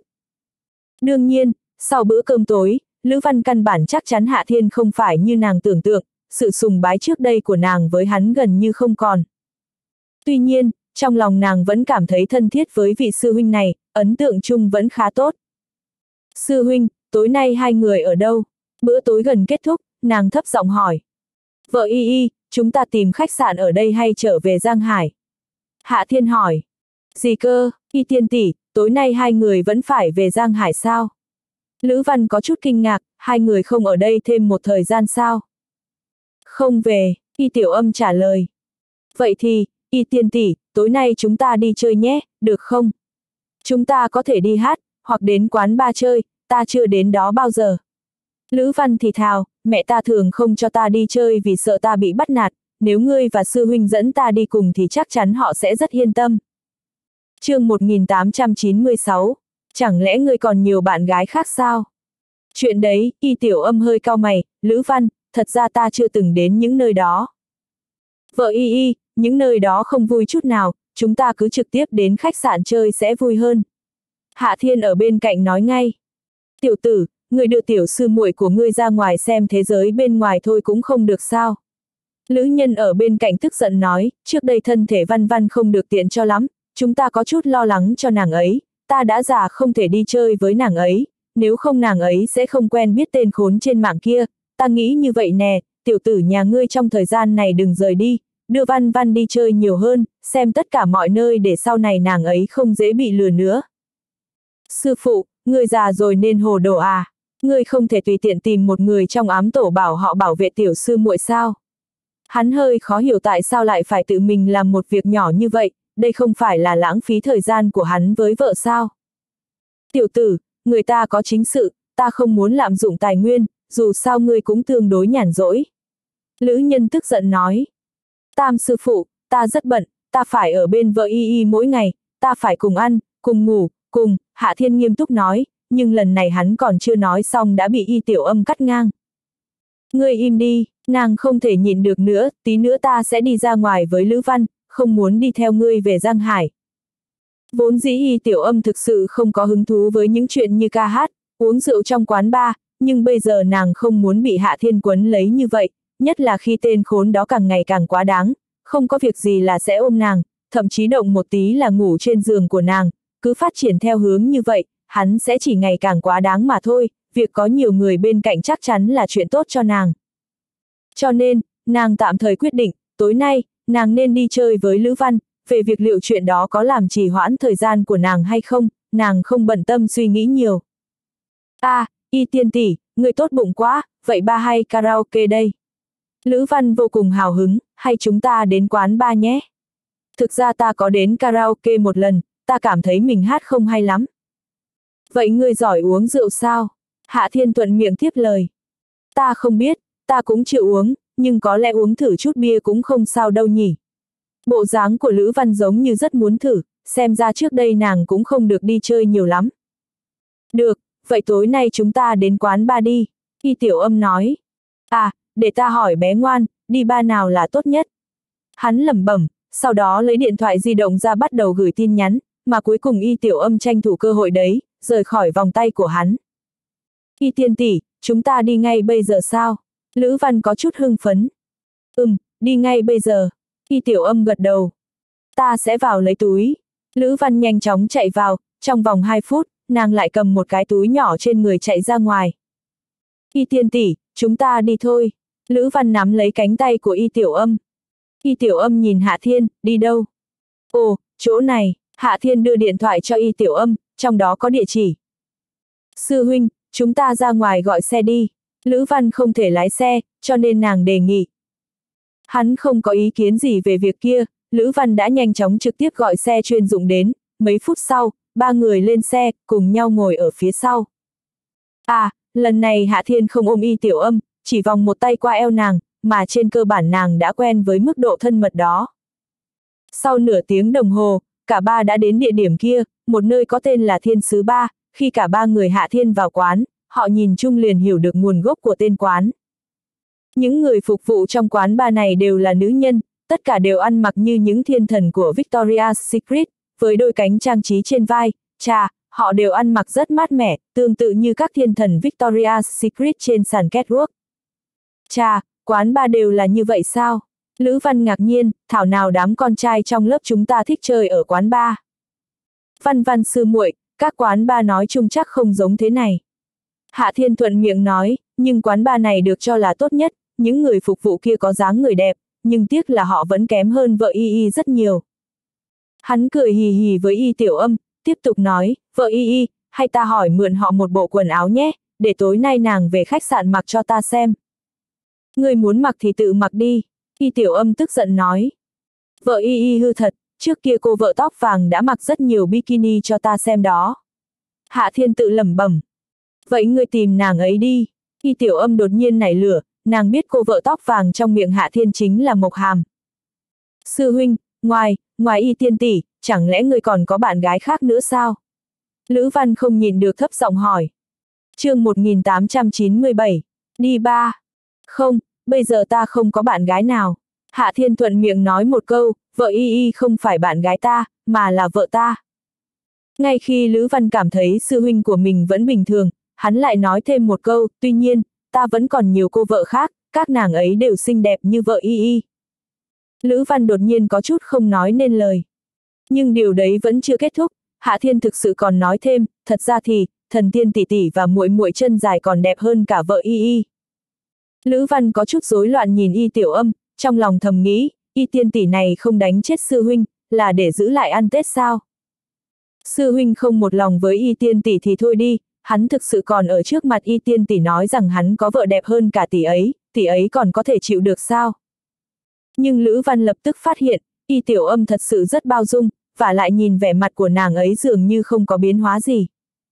Lữ Văn, chúng ta đi qua đó đi. Y tiểu âm kéo nàng rời đi, sau đó quay lại nhìn hắn một lần nữa, tránh xa chúng ta ra.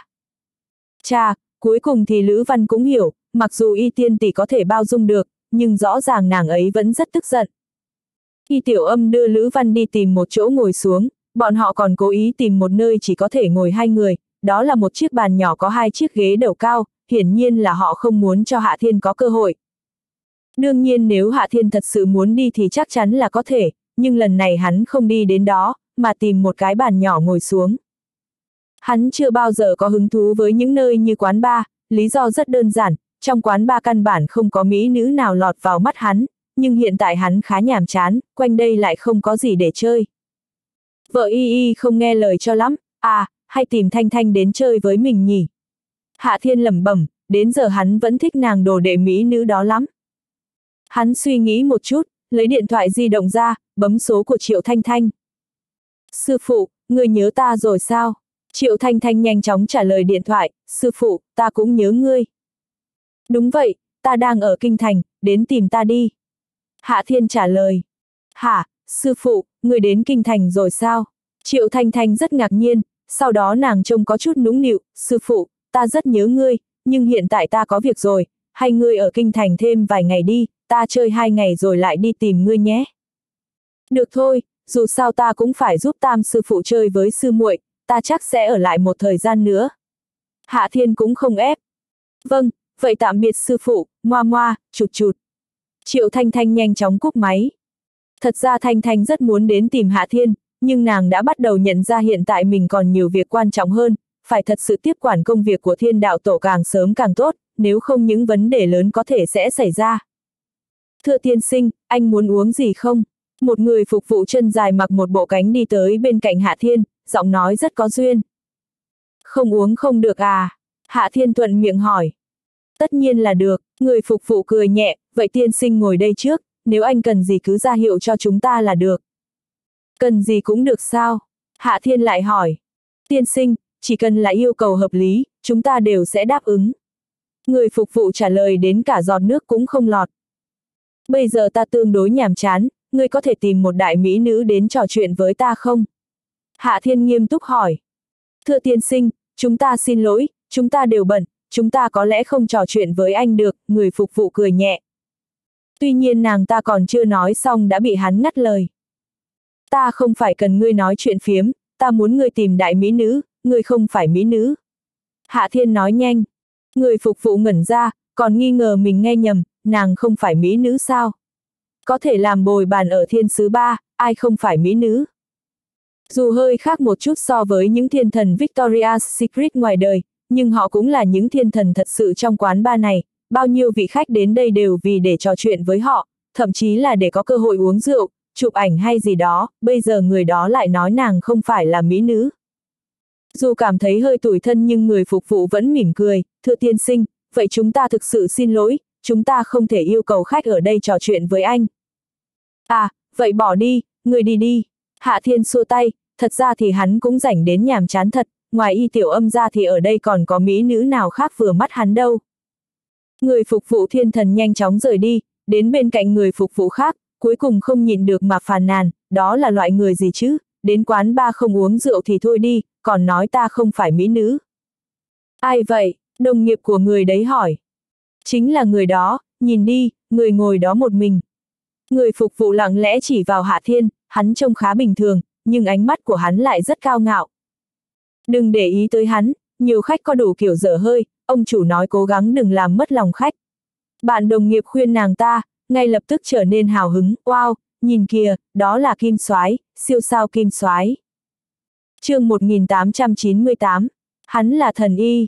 Được rồi, được rồi, đừng kích động, quán bar của chúng ta thường có người nổi tiếng, ông chủ cũng nói, nhìn thấy người nổi tiếng không nên đi lên xin ký tên hay gì đó, lý do những người nổi tiếng đó thích đến quán của chúng ta là vì họ có thể ở đây yên tĩnh uống rượu. Đến lượt người phục vụ bắt đầu khuyên bạn đồng nghiệp của mình. Ta đã biết, nhưng ta thực sự thích hắn, ừm, ta sẽ đi chào hắn. Người phục vụ vội vàng đi về phía thanh niên đầu chọc vừa bước vào. Thanh niên đầu chọc kia chính là ca sĩ nổi tiếng Kim Soái, thực ra nếu nói về tướng mạo thì hắn không tính là đẹp trai, chỉ là hát hay, có rất nhiều người hâm mộ. Đúng, đây là một người thuộc phái thực lực, hắn cũng đi vào một mình, chắc có quá nhiều người yêu mến hắn bên ngoài, khiến hắn rất hoảng sợ nên mới đến thiên sứ ba này. Huynh đệ, ta có thể ngồi ở đây được không? Kim soái liếc nhìn xung quanh, thấy chỗ hạ thiên còn một ghế trống, liền bước tới. Thật ra trong quán còn rất nhiều chỗ trống, cũng không biết kim soái có phải là tự dưng não teo lại không, nhất định phải đến chỗ hạ thiên ngồi. Ta không thích ngồi với nam nhân, hạ thiên uể oải nói. Ừm, chuyện đó, huynh đệ, người không biết ta à? Kim soái giật mình, hiện tại hắn đỏ bừng cả mặt. Ta không phải là huynh đệ của ngươi, ta cũng không biết ngươi. Hạ thiên hơi không kiên nhẫn, ngươi muốn ngồi đâu cũng được, đừng ngồi với ta. Wow, ngươi là kim soái sao? Lúc này, một giọng nói hơi khoa trương vang lên, chính là Lữ Văn chạy tới, sư huynh, sư huynh ơi, ngươi quen siêu sao kim soái sao? Ngươi lợi hại thật đó.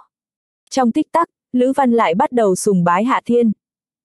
Văn văn sư muội, ta đã chữa khỏi mắt cho ngươi rồi, sao mắt ngươi còn kém như thế? Hắn có chút không vui, sao ta có thể quen hắn? Không đợi Lữ Văn nói, Hạ Thiên lại nhìn Kim Soái lần nữa, tên của ngươi là Kim Soái. Trông ngươi xấu xí như vậy, sao lại lấy cái tên như vậy chứ? Sư huynh à, đừng nói nhảm nữa, Kim Soái người ta mới không hề xấu, nhìn hắn ngầu biết bao nhiêu. Lữ Văn lập tức bất mãn, sư huynh, để ta nói với ngươi, hắn hát rất hay, ta rất thích những bài hắn hát. Không để Hạ Thiên lên tiếng, Lữ Văn lại nhìn Kim Soái, ừm, Kim Soái ca, ngươi có thể ký tên cho ta không? Không thành vấn đề, không thành vấn đề, ta sẽ ký ngay cho ngươi. Kim Soái gật đầu ngay, thật ra hắn không phải kiểu người tùy tiện tặng chữ ký cho người ta, nhưng vừa rồi bị Hạ Thiên đánh, mạnh như vậy, giờ gặp người hâm mộ thì hắn cảm thấy được chữa lành ngay lập tức, đồng ý ký ngay. Vị tiểu thư này, trong quán bar của chúng ta, không thể tìm người nổi tiếng xin chữ ký. Bên cạnh truyền đến một giọng nói, đó là người phục vụ thích kim soái, nếu ngươi tiếp tục quấy rối khách của chúng ta, ta e rằng chỉ có thể mời ngươi ra ngoài. Gì cơ, sư huynh, ta, ta chỉ xin chữ ký thôi cũng không được sao. Lữ Văn có chút lo lắng. Nè, có phải ngươi có bệnh không? Hạ Thiên đột nhiên không vui, tốt xấu gì thì đây cũng là sư muội hắn, không thể bị bắt nạt được, ngươi không thấy tên xấu xí kia đang quấy rối ta sao? Sao ngươi không đuổi hắn ra ngoài? Tiên sinh, đừng gây sự vô lý, sao Kim tiên sinh lại quấy rối ngươi được? Người phục vụ lập tức không vui, nàng vốn là người yêu thích Kim soái, hơn nữa vừa nghe đồng nghiệp nói Hạ Thiên rất kỳ quái, hiện tại đương nhiên không có ấn tượng tốt với hắn, lời nói cũng có phần thô lỗ. Này, người hỏi ra hỏa không đẹp trai đó đi, có phải hắn đến đây làm phiền ta không? Hạ Thiên càng không vui. Kim soái mở miệng định nói, nhưng người hâm mộ bồi bàn của hắn đã tức giận trước, ta nói ngươi không biết xấu hổ hay sao? Ngươi cũng không nhìn vào gương xem mình trông như thế nào, thân phận của Kim Tiên sinh người ta là gì chứ? Hắn là đại minh tinh, còn thân phận của ngươi là gì? Hắn hà tất phải quấy dày một nhân vật nhỏ như ngươi sao? Thực ra quán ba bây giờ cũng không ồn ào, mà nhân viên phục vụ quát lên lập tức thu hút rất nhiều sự chú ý, nhiều người lập tức nhận ra kim soái, tuy nhiên có lẽ là do ở đây thường có người nổi tiếng nên mọi người cũng tỏ ra khá bình tĩnh. Đừng nói nhảm, sư huynh ta không phải là nhân vật nhỏ. Lúc này, Lữ Văn không nhịn được phản bác giúp hắn. Ôi, tưởng là đại nhân vật gì à? Nữ phục vụ cười lạnh, còn sư huynh sư muội nữa, ta nghĩ các người còn chưa tốt nghiệp đâu đúng không? Học trường đại học nào thế? Cha, Hạ Thiên và Lữ Văn trông hơi giống sinh viên đại học, đặc biệt là Lữ Văn, một sinh viên đại học chân chính. Lữ Văn quay đầu nhìn y tiểu âm, hiển nhiên là hy vọng y tiên tỷ có thể tới giúp, nhưng bây giờ, nàng ấy có vẻ không muốn ra mặt, bởi vì nàng ấy đang nhìn điện thoại. Sư huynh ta không phải là sinh viên đại học, hắn là thần y. Cuối cùng Lữ Văn cũng nói, nàng không biết nhiều về Hạ Thiên, nhưng nàng biết Hạ Thiên là thần y, và lại nàng chắc chắn về chuyện đó. Thần y, một giọng nói truyền đến từ bên cạnh, tiểu muội muội, vậy thì thật là trùng hợp, hiện giờ ta hơi khó chịu, người có thể bảo thần y sư huynh của ngươi kiểm tra giúp ta được không? chương 1899, một chai rượu vang đỏ. Nam nhân đang nói khoảng hơn 30 tuổi, người ấy trông cũng bình thường, nhưng hiện giờ thoạt nhìn cũng khá phong cách, bởi vì hắn đang trái ôm phải ấp. Đương nhiên, hắn cũng không phải đang ôm mấy người phục vụ thiên sứ đó, có điều hai mỹ nữ kia trông rất không tồi, dáng người rất đẹp, nhìn dáng vẻ thế kia nếu không phải là minh tinh thì cũng có thể là người mẫu. Đồ ngốc, người bảo ta xem giúp ngươi, ta liền ngươi giúp xem à. Hạ thiên nhìn nam nhân ấy, vẻ mặt khó chịu, hắn bắt đầu nghi ngờ bé ngoan cố ý chỉnh hắn, chỗ rách nát như vậy, khắp nơi toàn là mấy tên ngốc, thế mà còn nói đây là quán ba tốt nhất kinh thành, không phải nói bậy sao. Đáng tiếc là hắn không biết bé ngoan đang ở đâu, nếu không thì hiện giờ hắn rất có thể đã đánh nàng một trận rồi. Ta nói vị thần y này, người biết nói tiếng người không thế. Nam nhân trái ôm phải ấp kia lập tức không vui, đậu ngóa, người nói ai đần hả? Ta thấy người mới là tên ngốc đó, người con mẹ nó có biết ta là ai không? Này, tên phục vụ viên kia, mang cho ta một chai rượu. Bây giờ, Hạ Thiên vẫy tay. Hai người phục vụ trước đó từng bắt chuyện với hắn, hiện tại đều không có phản ứng, ngược lại có một người phục vụ khác bước nhanh tới. Tiên sinh, người muốn bia, rượu ngoại hay rượu vang đỏ? Trên tay người phục vụ ấy còn bưng theo một cái khay, trong khay có một chai rượu, có điều là một chai rượu vang đỏ. Sao cũng được, lấy chai đó đi. Hạ Thiên đối với chuyện kia không quan trọng lắm, thuận tay lấy chai rượu vang đỏ tới. Tiên sinh, chai rượu vang đỏ ấy ba vạn tám. Người phục vụ này còn chưa nói xong đã ngẩn người tại chỗ, bởi vì nàng nhìn thấy Hạ Thiên trực tiếp ném chai rượu vang đỏ ra. Phịch, chai rượu vang đỏ nọ đập vào đầu nam nhân kia, hắn không thể trái ôm phải ấp được nữa, chỉ nghe thấy hắn kêu lên một tiếng đau đớn rồi ngã xuống đất. Mà thần kỳ chính là, chai rượu kia lại không bị vỡ. Động tác lần này của Lữ Văn khá nhanh, nàng nhanh chóng chạy tới, nhặt chai rượu vang đỏ lên, sau đó nhanh chóng chạy trở lại, sư huynh, sư huynh, rượu vẫn chưa vỡ, ba vạn tám một chai, chúng ta đừng lấy nữa đi. Quá đắt rồi. a à, là ta cố tình làm nó không vỡ, đầu của tên kém thông minh đó không đáng giá ba vạn tám. Hạ Thiên Thuận miệng nói. Ngươi, ngươi lại ở đây đánh người, ngươi. Người phục vụ lúc trước cực kỳ hoảng sợ, sau đó hét to lên, bảo vệ, bảo vệ mau đến đây. Bảo vệ làm việc rất nhanh, đã có vài người nhanh chóng xông tới, mà nam nhân ấy bị đập ngất xỉu, lúc này vẫn còn đang hôn mê, được hai mỹ nữ bên cạnh đỡ lên.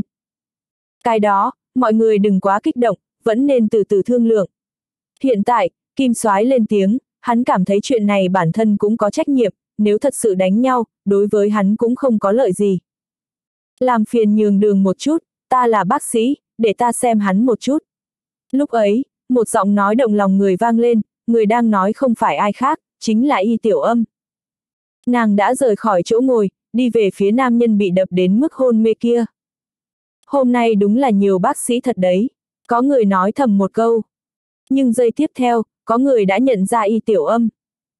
Cô, cô là y tiên, y tiên y tiểu âm. Thật sự là y tiên, nàng ấy cũng đến quán ba sao. Qua, wow, không phải nói nàng ấy không nhiễm khói lửa nhân gian sao. Nhìn xem bây giờ nàng ấy ăn mặc rất giống tiên nữ nha. Người ta cũng không phải là tiên nữ thật, đến quán ba thì làm sao? Y tiên tiểu thư. Trong nháy mắt, y tiểu âm trở thành minh tinh lớn nhất quán ba này, hiện tại, kim soái, ngân soái gì đó cũng không đẹp bằng nàng, không ít người đều vô thức đi qua bên này. Các ngươi mau tránh đường cho y tiên tiểu thư, để nàng ấy cứu người. Lúc này, bảo vệ cũng phản ứng lại, lớn tiếng hét một câu. Một tiếng hét ấy, ngược lại có người nhường đường rồi, mà nàng cũng rất thuận lợi đi đến bên cạnh nam tử bị đập hôn mê kia. Các ngươi đặt hắn xuống đất, y tiểu âm mở miệng nói. Mà hai mỹ nữ kia cũng lập tức làm theo, từ từ buông tay, để nam tử ấy nằm thẳng trên mặt đất. khi tiểu âm lấy ra một cây ngân châm, trực tiếp đâm vào đầu nam tử đó. Nam tử đột nhiên ngồi dậy, sau đó chửi ầm lên, tên khốn nào đánh ta. Phịch, chai rượu vang đỏ lại bay tới, đập vào đầu nam nhân đó, hắn lại kêu lên một tiếng đau đớn, một lần nữa ngã xuống. Hiện giờ, cả quán bà đều yên lặng, mỗi người đều nhìn về phía Hạ Thiên, trong lòng chỉ có một cảm giác, tên này cũng ăn hiếp người quá đáng rồi, y tiên vừa giúp người ta tỉnh lại, hắn lại đập người ta hôn mê nữa rồi. Văn văn sư muội, đi lấy rượu lại đây giúp ta. Hạ Thiên lại mở miệng nói. a à, chai rượu vang đỏ vẫn chưa vỡ. Với năng lực của hắn, muốn khống chế để chai rượu vang đỏ không vỡ, thật ra khá đơn giản. Lữ Văn nhanh chóng chạy qua, sau đó lẻ lưỡi với y tiểu âm, lại nhặt chai rượu vang đỏ lên. Cái đó, y tiên tiểu thư, người muốn giúp chữa trị chút nữa không? Có người dè dặt hỏi một câu.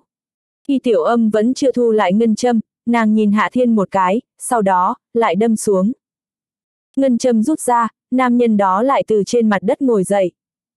Con mẹ nó, kẻ nào lại vừa đánh ta nữa? Hắn vừa mới nói đến đây, lại nhìn thấy chai rượu vang đỏ bay về phía hắn, theo hướng của chai rượu vang đỏ cũng nhìn thấy Hạ Thiên, nhưng hắn vẫn không kịp tránh. Phịch! Á! Nam nhân ấy lại ngã xuống. Mọi người đều sắp điên rồi, tên kia còn đập thêm một lần nữa. Mà mấy bảo vệ cũng rất đau đầu, bọn hắn rõ ràng đã ở bên cạnh đề phòng chuẩn bị ngăn chai rượu vang đỏ lại, tại sao vẫn không thể ngăn lại thành công chứ? chương 1900, ta sẽ cho ngươi một lời giải thích. Y tiên tiểu thư, ta thấy cô nên đợi lát nữa rồi hãy giúp cứu người, trước tiên chúng ta đuổi kẻ gây rối ra khỏi quán ba rồi nói sau. Một bảo vệ mở miệng nói, mà thật ra hắn chính là đội trưởng đội bảo vệ của quán ba, toàn bộ vấn đề an ninh đều do hắn chịu trách nhiệm. Mà đội trưởng đội bảo vệ nọ quả thật cũng phát hiện ra điểm mấu chốt, không đuổi hạ thiên đi, bất luận y tiểu âm cứu người ta tỉnh lại bao nhiêu lần, đều sẽ bị đập hôn mê bấy nhiêu lần. Không sao, để ta tới. Y tiểu âm mở miệng, nàng lại cầm ngân châm lên, trước khi đâm ngân châm, nàng nhìn về phía Hạ Thiên, giọng nói thanh lãnh, người đập một lần nữa thì đừng nghĩ đến chuyện gặp lại ta.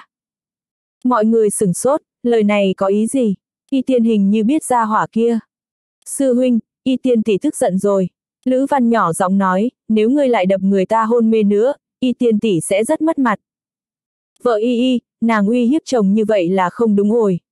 Hạ thiên cười hì hì nói, nàng chỉ cần không cứu hắn tỉnh lại, ta có thể không đập hắn. Vợ, chồng. Bốn phía ồn ào cả lên, con mẹ nó, gia hỏa ấy là chồng của y tiên sao? Chuyện đó có vẻ không khoa học. Y tiên tiểu thư, vị kia là, đội trưởng đội bảo vệ nọ không nhìn được hỏi. Y tiểu âm không trả lời, nàng hơi trầm ngâm một chút, nhặt chai rượu vang đỏ từ mặt đất lên, sau đó đi đến bên cạnh Hạ Thiên. Bây giờ đã vừa lòng chưa? Y tiểu âm lạnh lùng nhìn Hạ Thiên, chỉ vì ta không ở cùng với ngươi, ngươi lại ở đây gây chuyện sao? Vợ y y, nàng hình như hiểu lầm gì đó về ta rồi, cho dù nàng đi với ta, ta nhìn thấy tên đần đó vẫn sẽ đánh. Hạ Thiên cười hì hì nói. Y tiểu âm lập tức im lặng, nàng vừa rồi còn đang nghi ngờ, Hạ Thiên có phải vì nàng kéo Lữ Văn đi chỗ khác nên không vui hay không, mà nàng cũng biết gia hỏa này thích khoe vợ trước mặt mọi người, nên dứt khoát chủ động thỏa mãn suy nghĩ khoe khoang của hắn, nhưng nàng lại đột nhiên phát hiện, nàng hình như đã nghĩ nhiều rồi. Không sai, Hạ Thiên chính là người như vậy, bất kể ở đâu, đều có thể đánh nhau với người khác. Chúng ta đến chơi, ngươi không thể chơi vui sao? Mỗi lần cứ phải náo loạn đánh nhau, làm sao còn chơi được nữa? Y tiểu âm có chút buồn bực, quên đi, ngươi đi cứu người ta tỉnh lại đi, sau đó ta và Lữ Văn chơi với ngươi. Vợ y y, nếu ta làm tên kém thông minh kia tỉnh lại, hắn chắc chắn sẽ lại rất muốn ăn đòn chạy tới tìm ta gây phiền phức. Hạ thiên cười hì hì, chẳng thà cứ để hắn hôn mê như vậy đi. Y tiểu âm trong lúc nhất thời không thể phản bác, ngẫm nghĩ một lát, nàng đứng dậy đi về phía đội trưởng đội bảo vệ. Y tiên tiểu thư, cô có gì dặn dò sao? Đội trưởng đội bảo vệ chủ động hỏi. Là như vậy, ta có thể làm hắn tỉnh lại, nhưng sau khi hắn tỉnh lại, cần các ngươi đưa hắn đi, nếu các ngươi có thể làm được, vậy ta sẽ làm hắn tỉnh lại, hoặc, các ngươi cũng có thể lựa chọn trực tiếp đưa hắn đến bệnh viện. Y tiểu âm nói thẳng, nàng hiểu rõ hạ thiên hơn, biết chỉ có thể làm như vậy, nếu không chuyện này có thể không xong được. Đều nói y tiên tiểu thư giống như tiên nữ, trị bệnh cứu người, không phân biệt giàu nghèo, không ngờ bây giờ thật sự được tận mắt nhìn thấy, nhưng lại hoàn toàn là một câu chuyện khác. Hiện tại, một giọng nói nhàn nhạt truyền đến. Cùng với giọng nói ấy, một nam tử trẻ tuổi khoảnh hơn 20 tuổi xuất hiện trong tầm mắt của mọi người, mà phía sau người này còn có hai nam hai nữ đi theo, nhìn qua chắc là vệ sĩ. Y tiên tiểu thư từng được ca tụng là nữ thần y đệ nhất của kinh thành chúng ta, nhưng mười mấy năm qua, nàng hình như rất ít khi đến nơi đây, không ngờ lần này, gặp được y tiên tiểu thư ở kinh thành, lại phát hiện hoàn toàn không giống với vị nữ thần y kia trong tưởng tượng của ta. Nam tử trẻ tuổi lắc đầu thở dài, ta chỉ muốn biết, y tiên tiểu thư, bạn của cô đánh người ta bị thương, hiện giờ ngươi lại yêu cầu người bị thương rời khỏi quán ba, ngươi cảm thấy chuyện ấy hợp lý sao? Nguyên tắc của ta là chỉ bệnh cứu người, ta bảo hắn rời đi, cũng vì cứu hắn, cho nên ta cảm thấy rất hợp lý. Y tiểu âm thản nhiên nói, nếu các ngươi cảm thấy không hợp lý, ta mặc kệ chuyện đó là được. Tâm trạng gần đây của y tiểu âm thật ra cũng không tốt lắm, cho nên tính tình cũng không tốt lắm, mà với thân phận của nàng, vốn dĩ cũng không cần phải ăn nói khép nép với bất kỳ ai, bất kể nam nhân trẻ tuổi vừa mới xuất hiện kia là ai, nàng cũng sẽ không để ý. Trên thế giới này, người thật sự có thể gây áp lực với nàng, thật ra cũng chỉ có hạ thiên mà thôi. Rất hay, hy vọng y tiên tiểu thư nói được làm được, đừng nhúng tay vào chuyện này.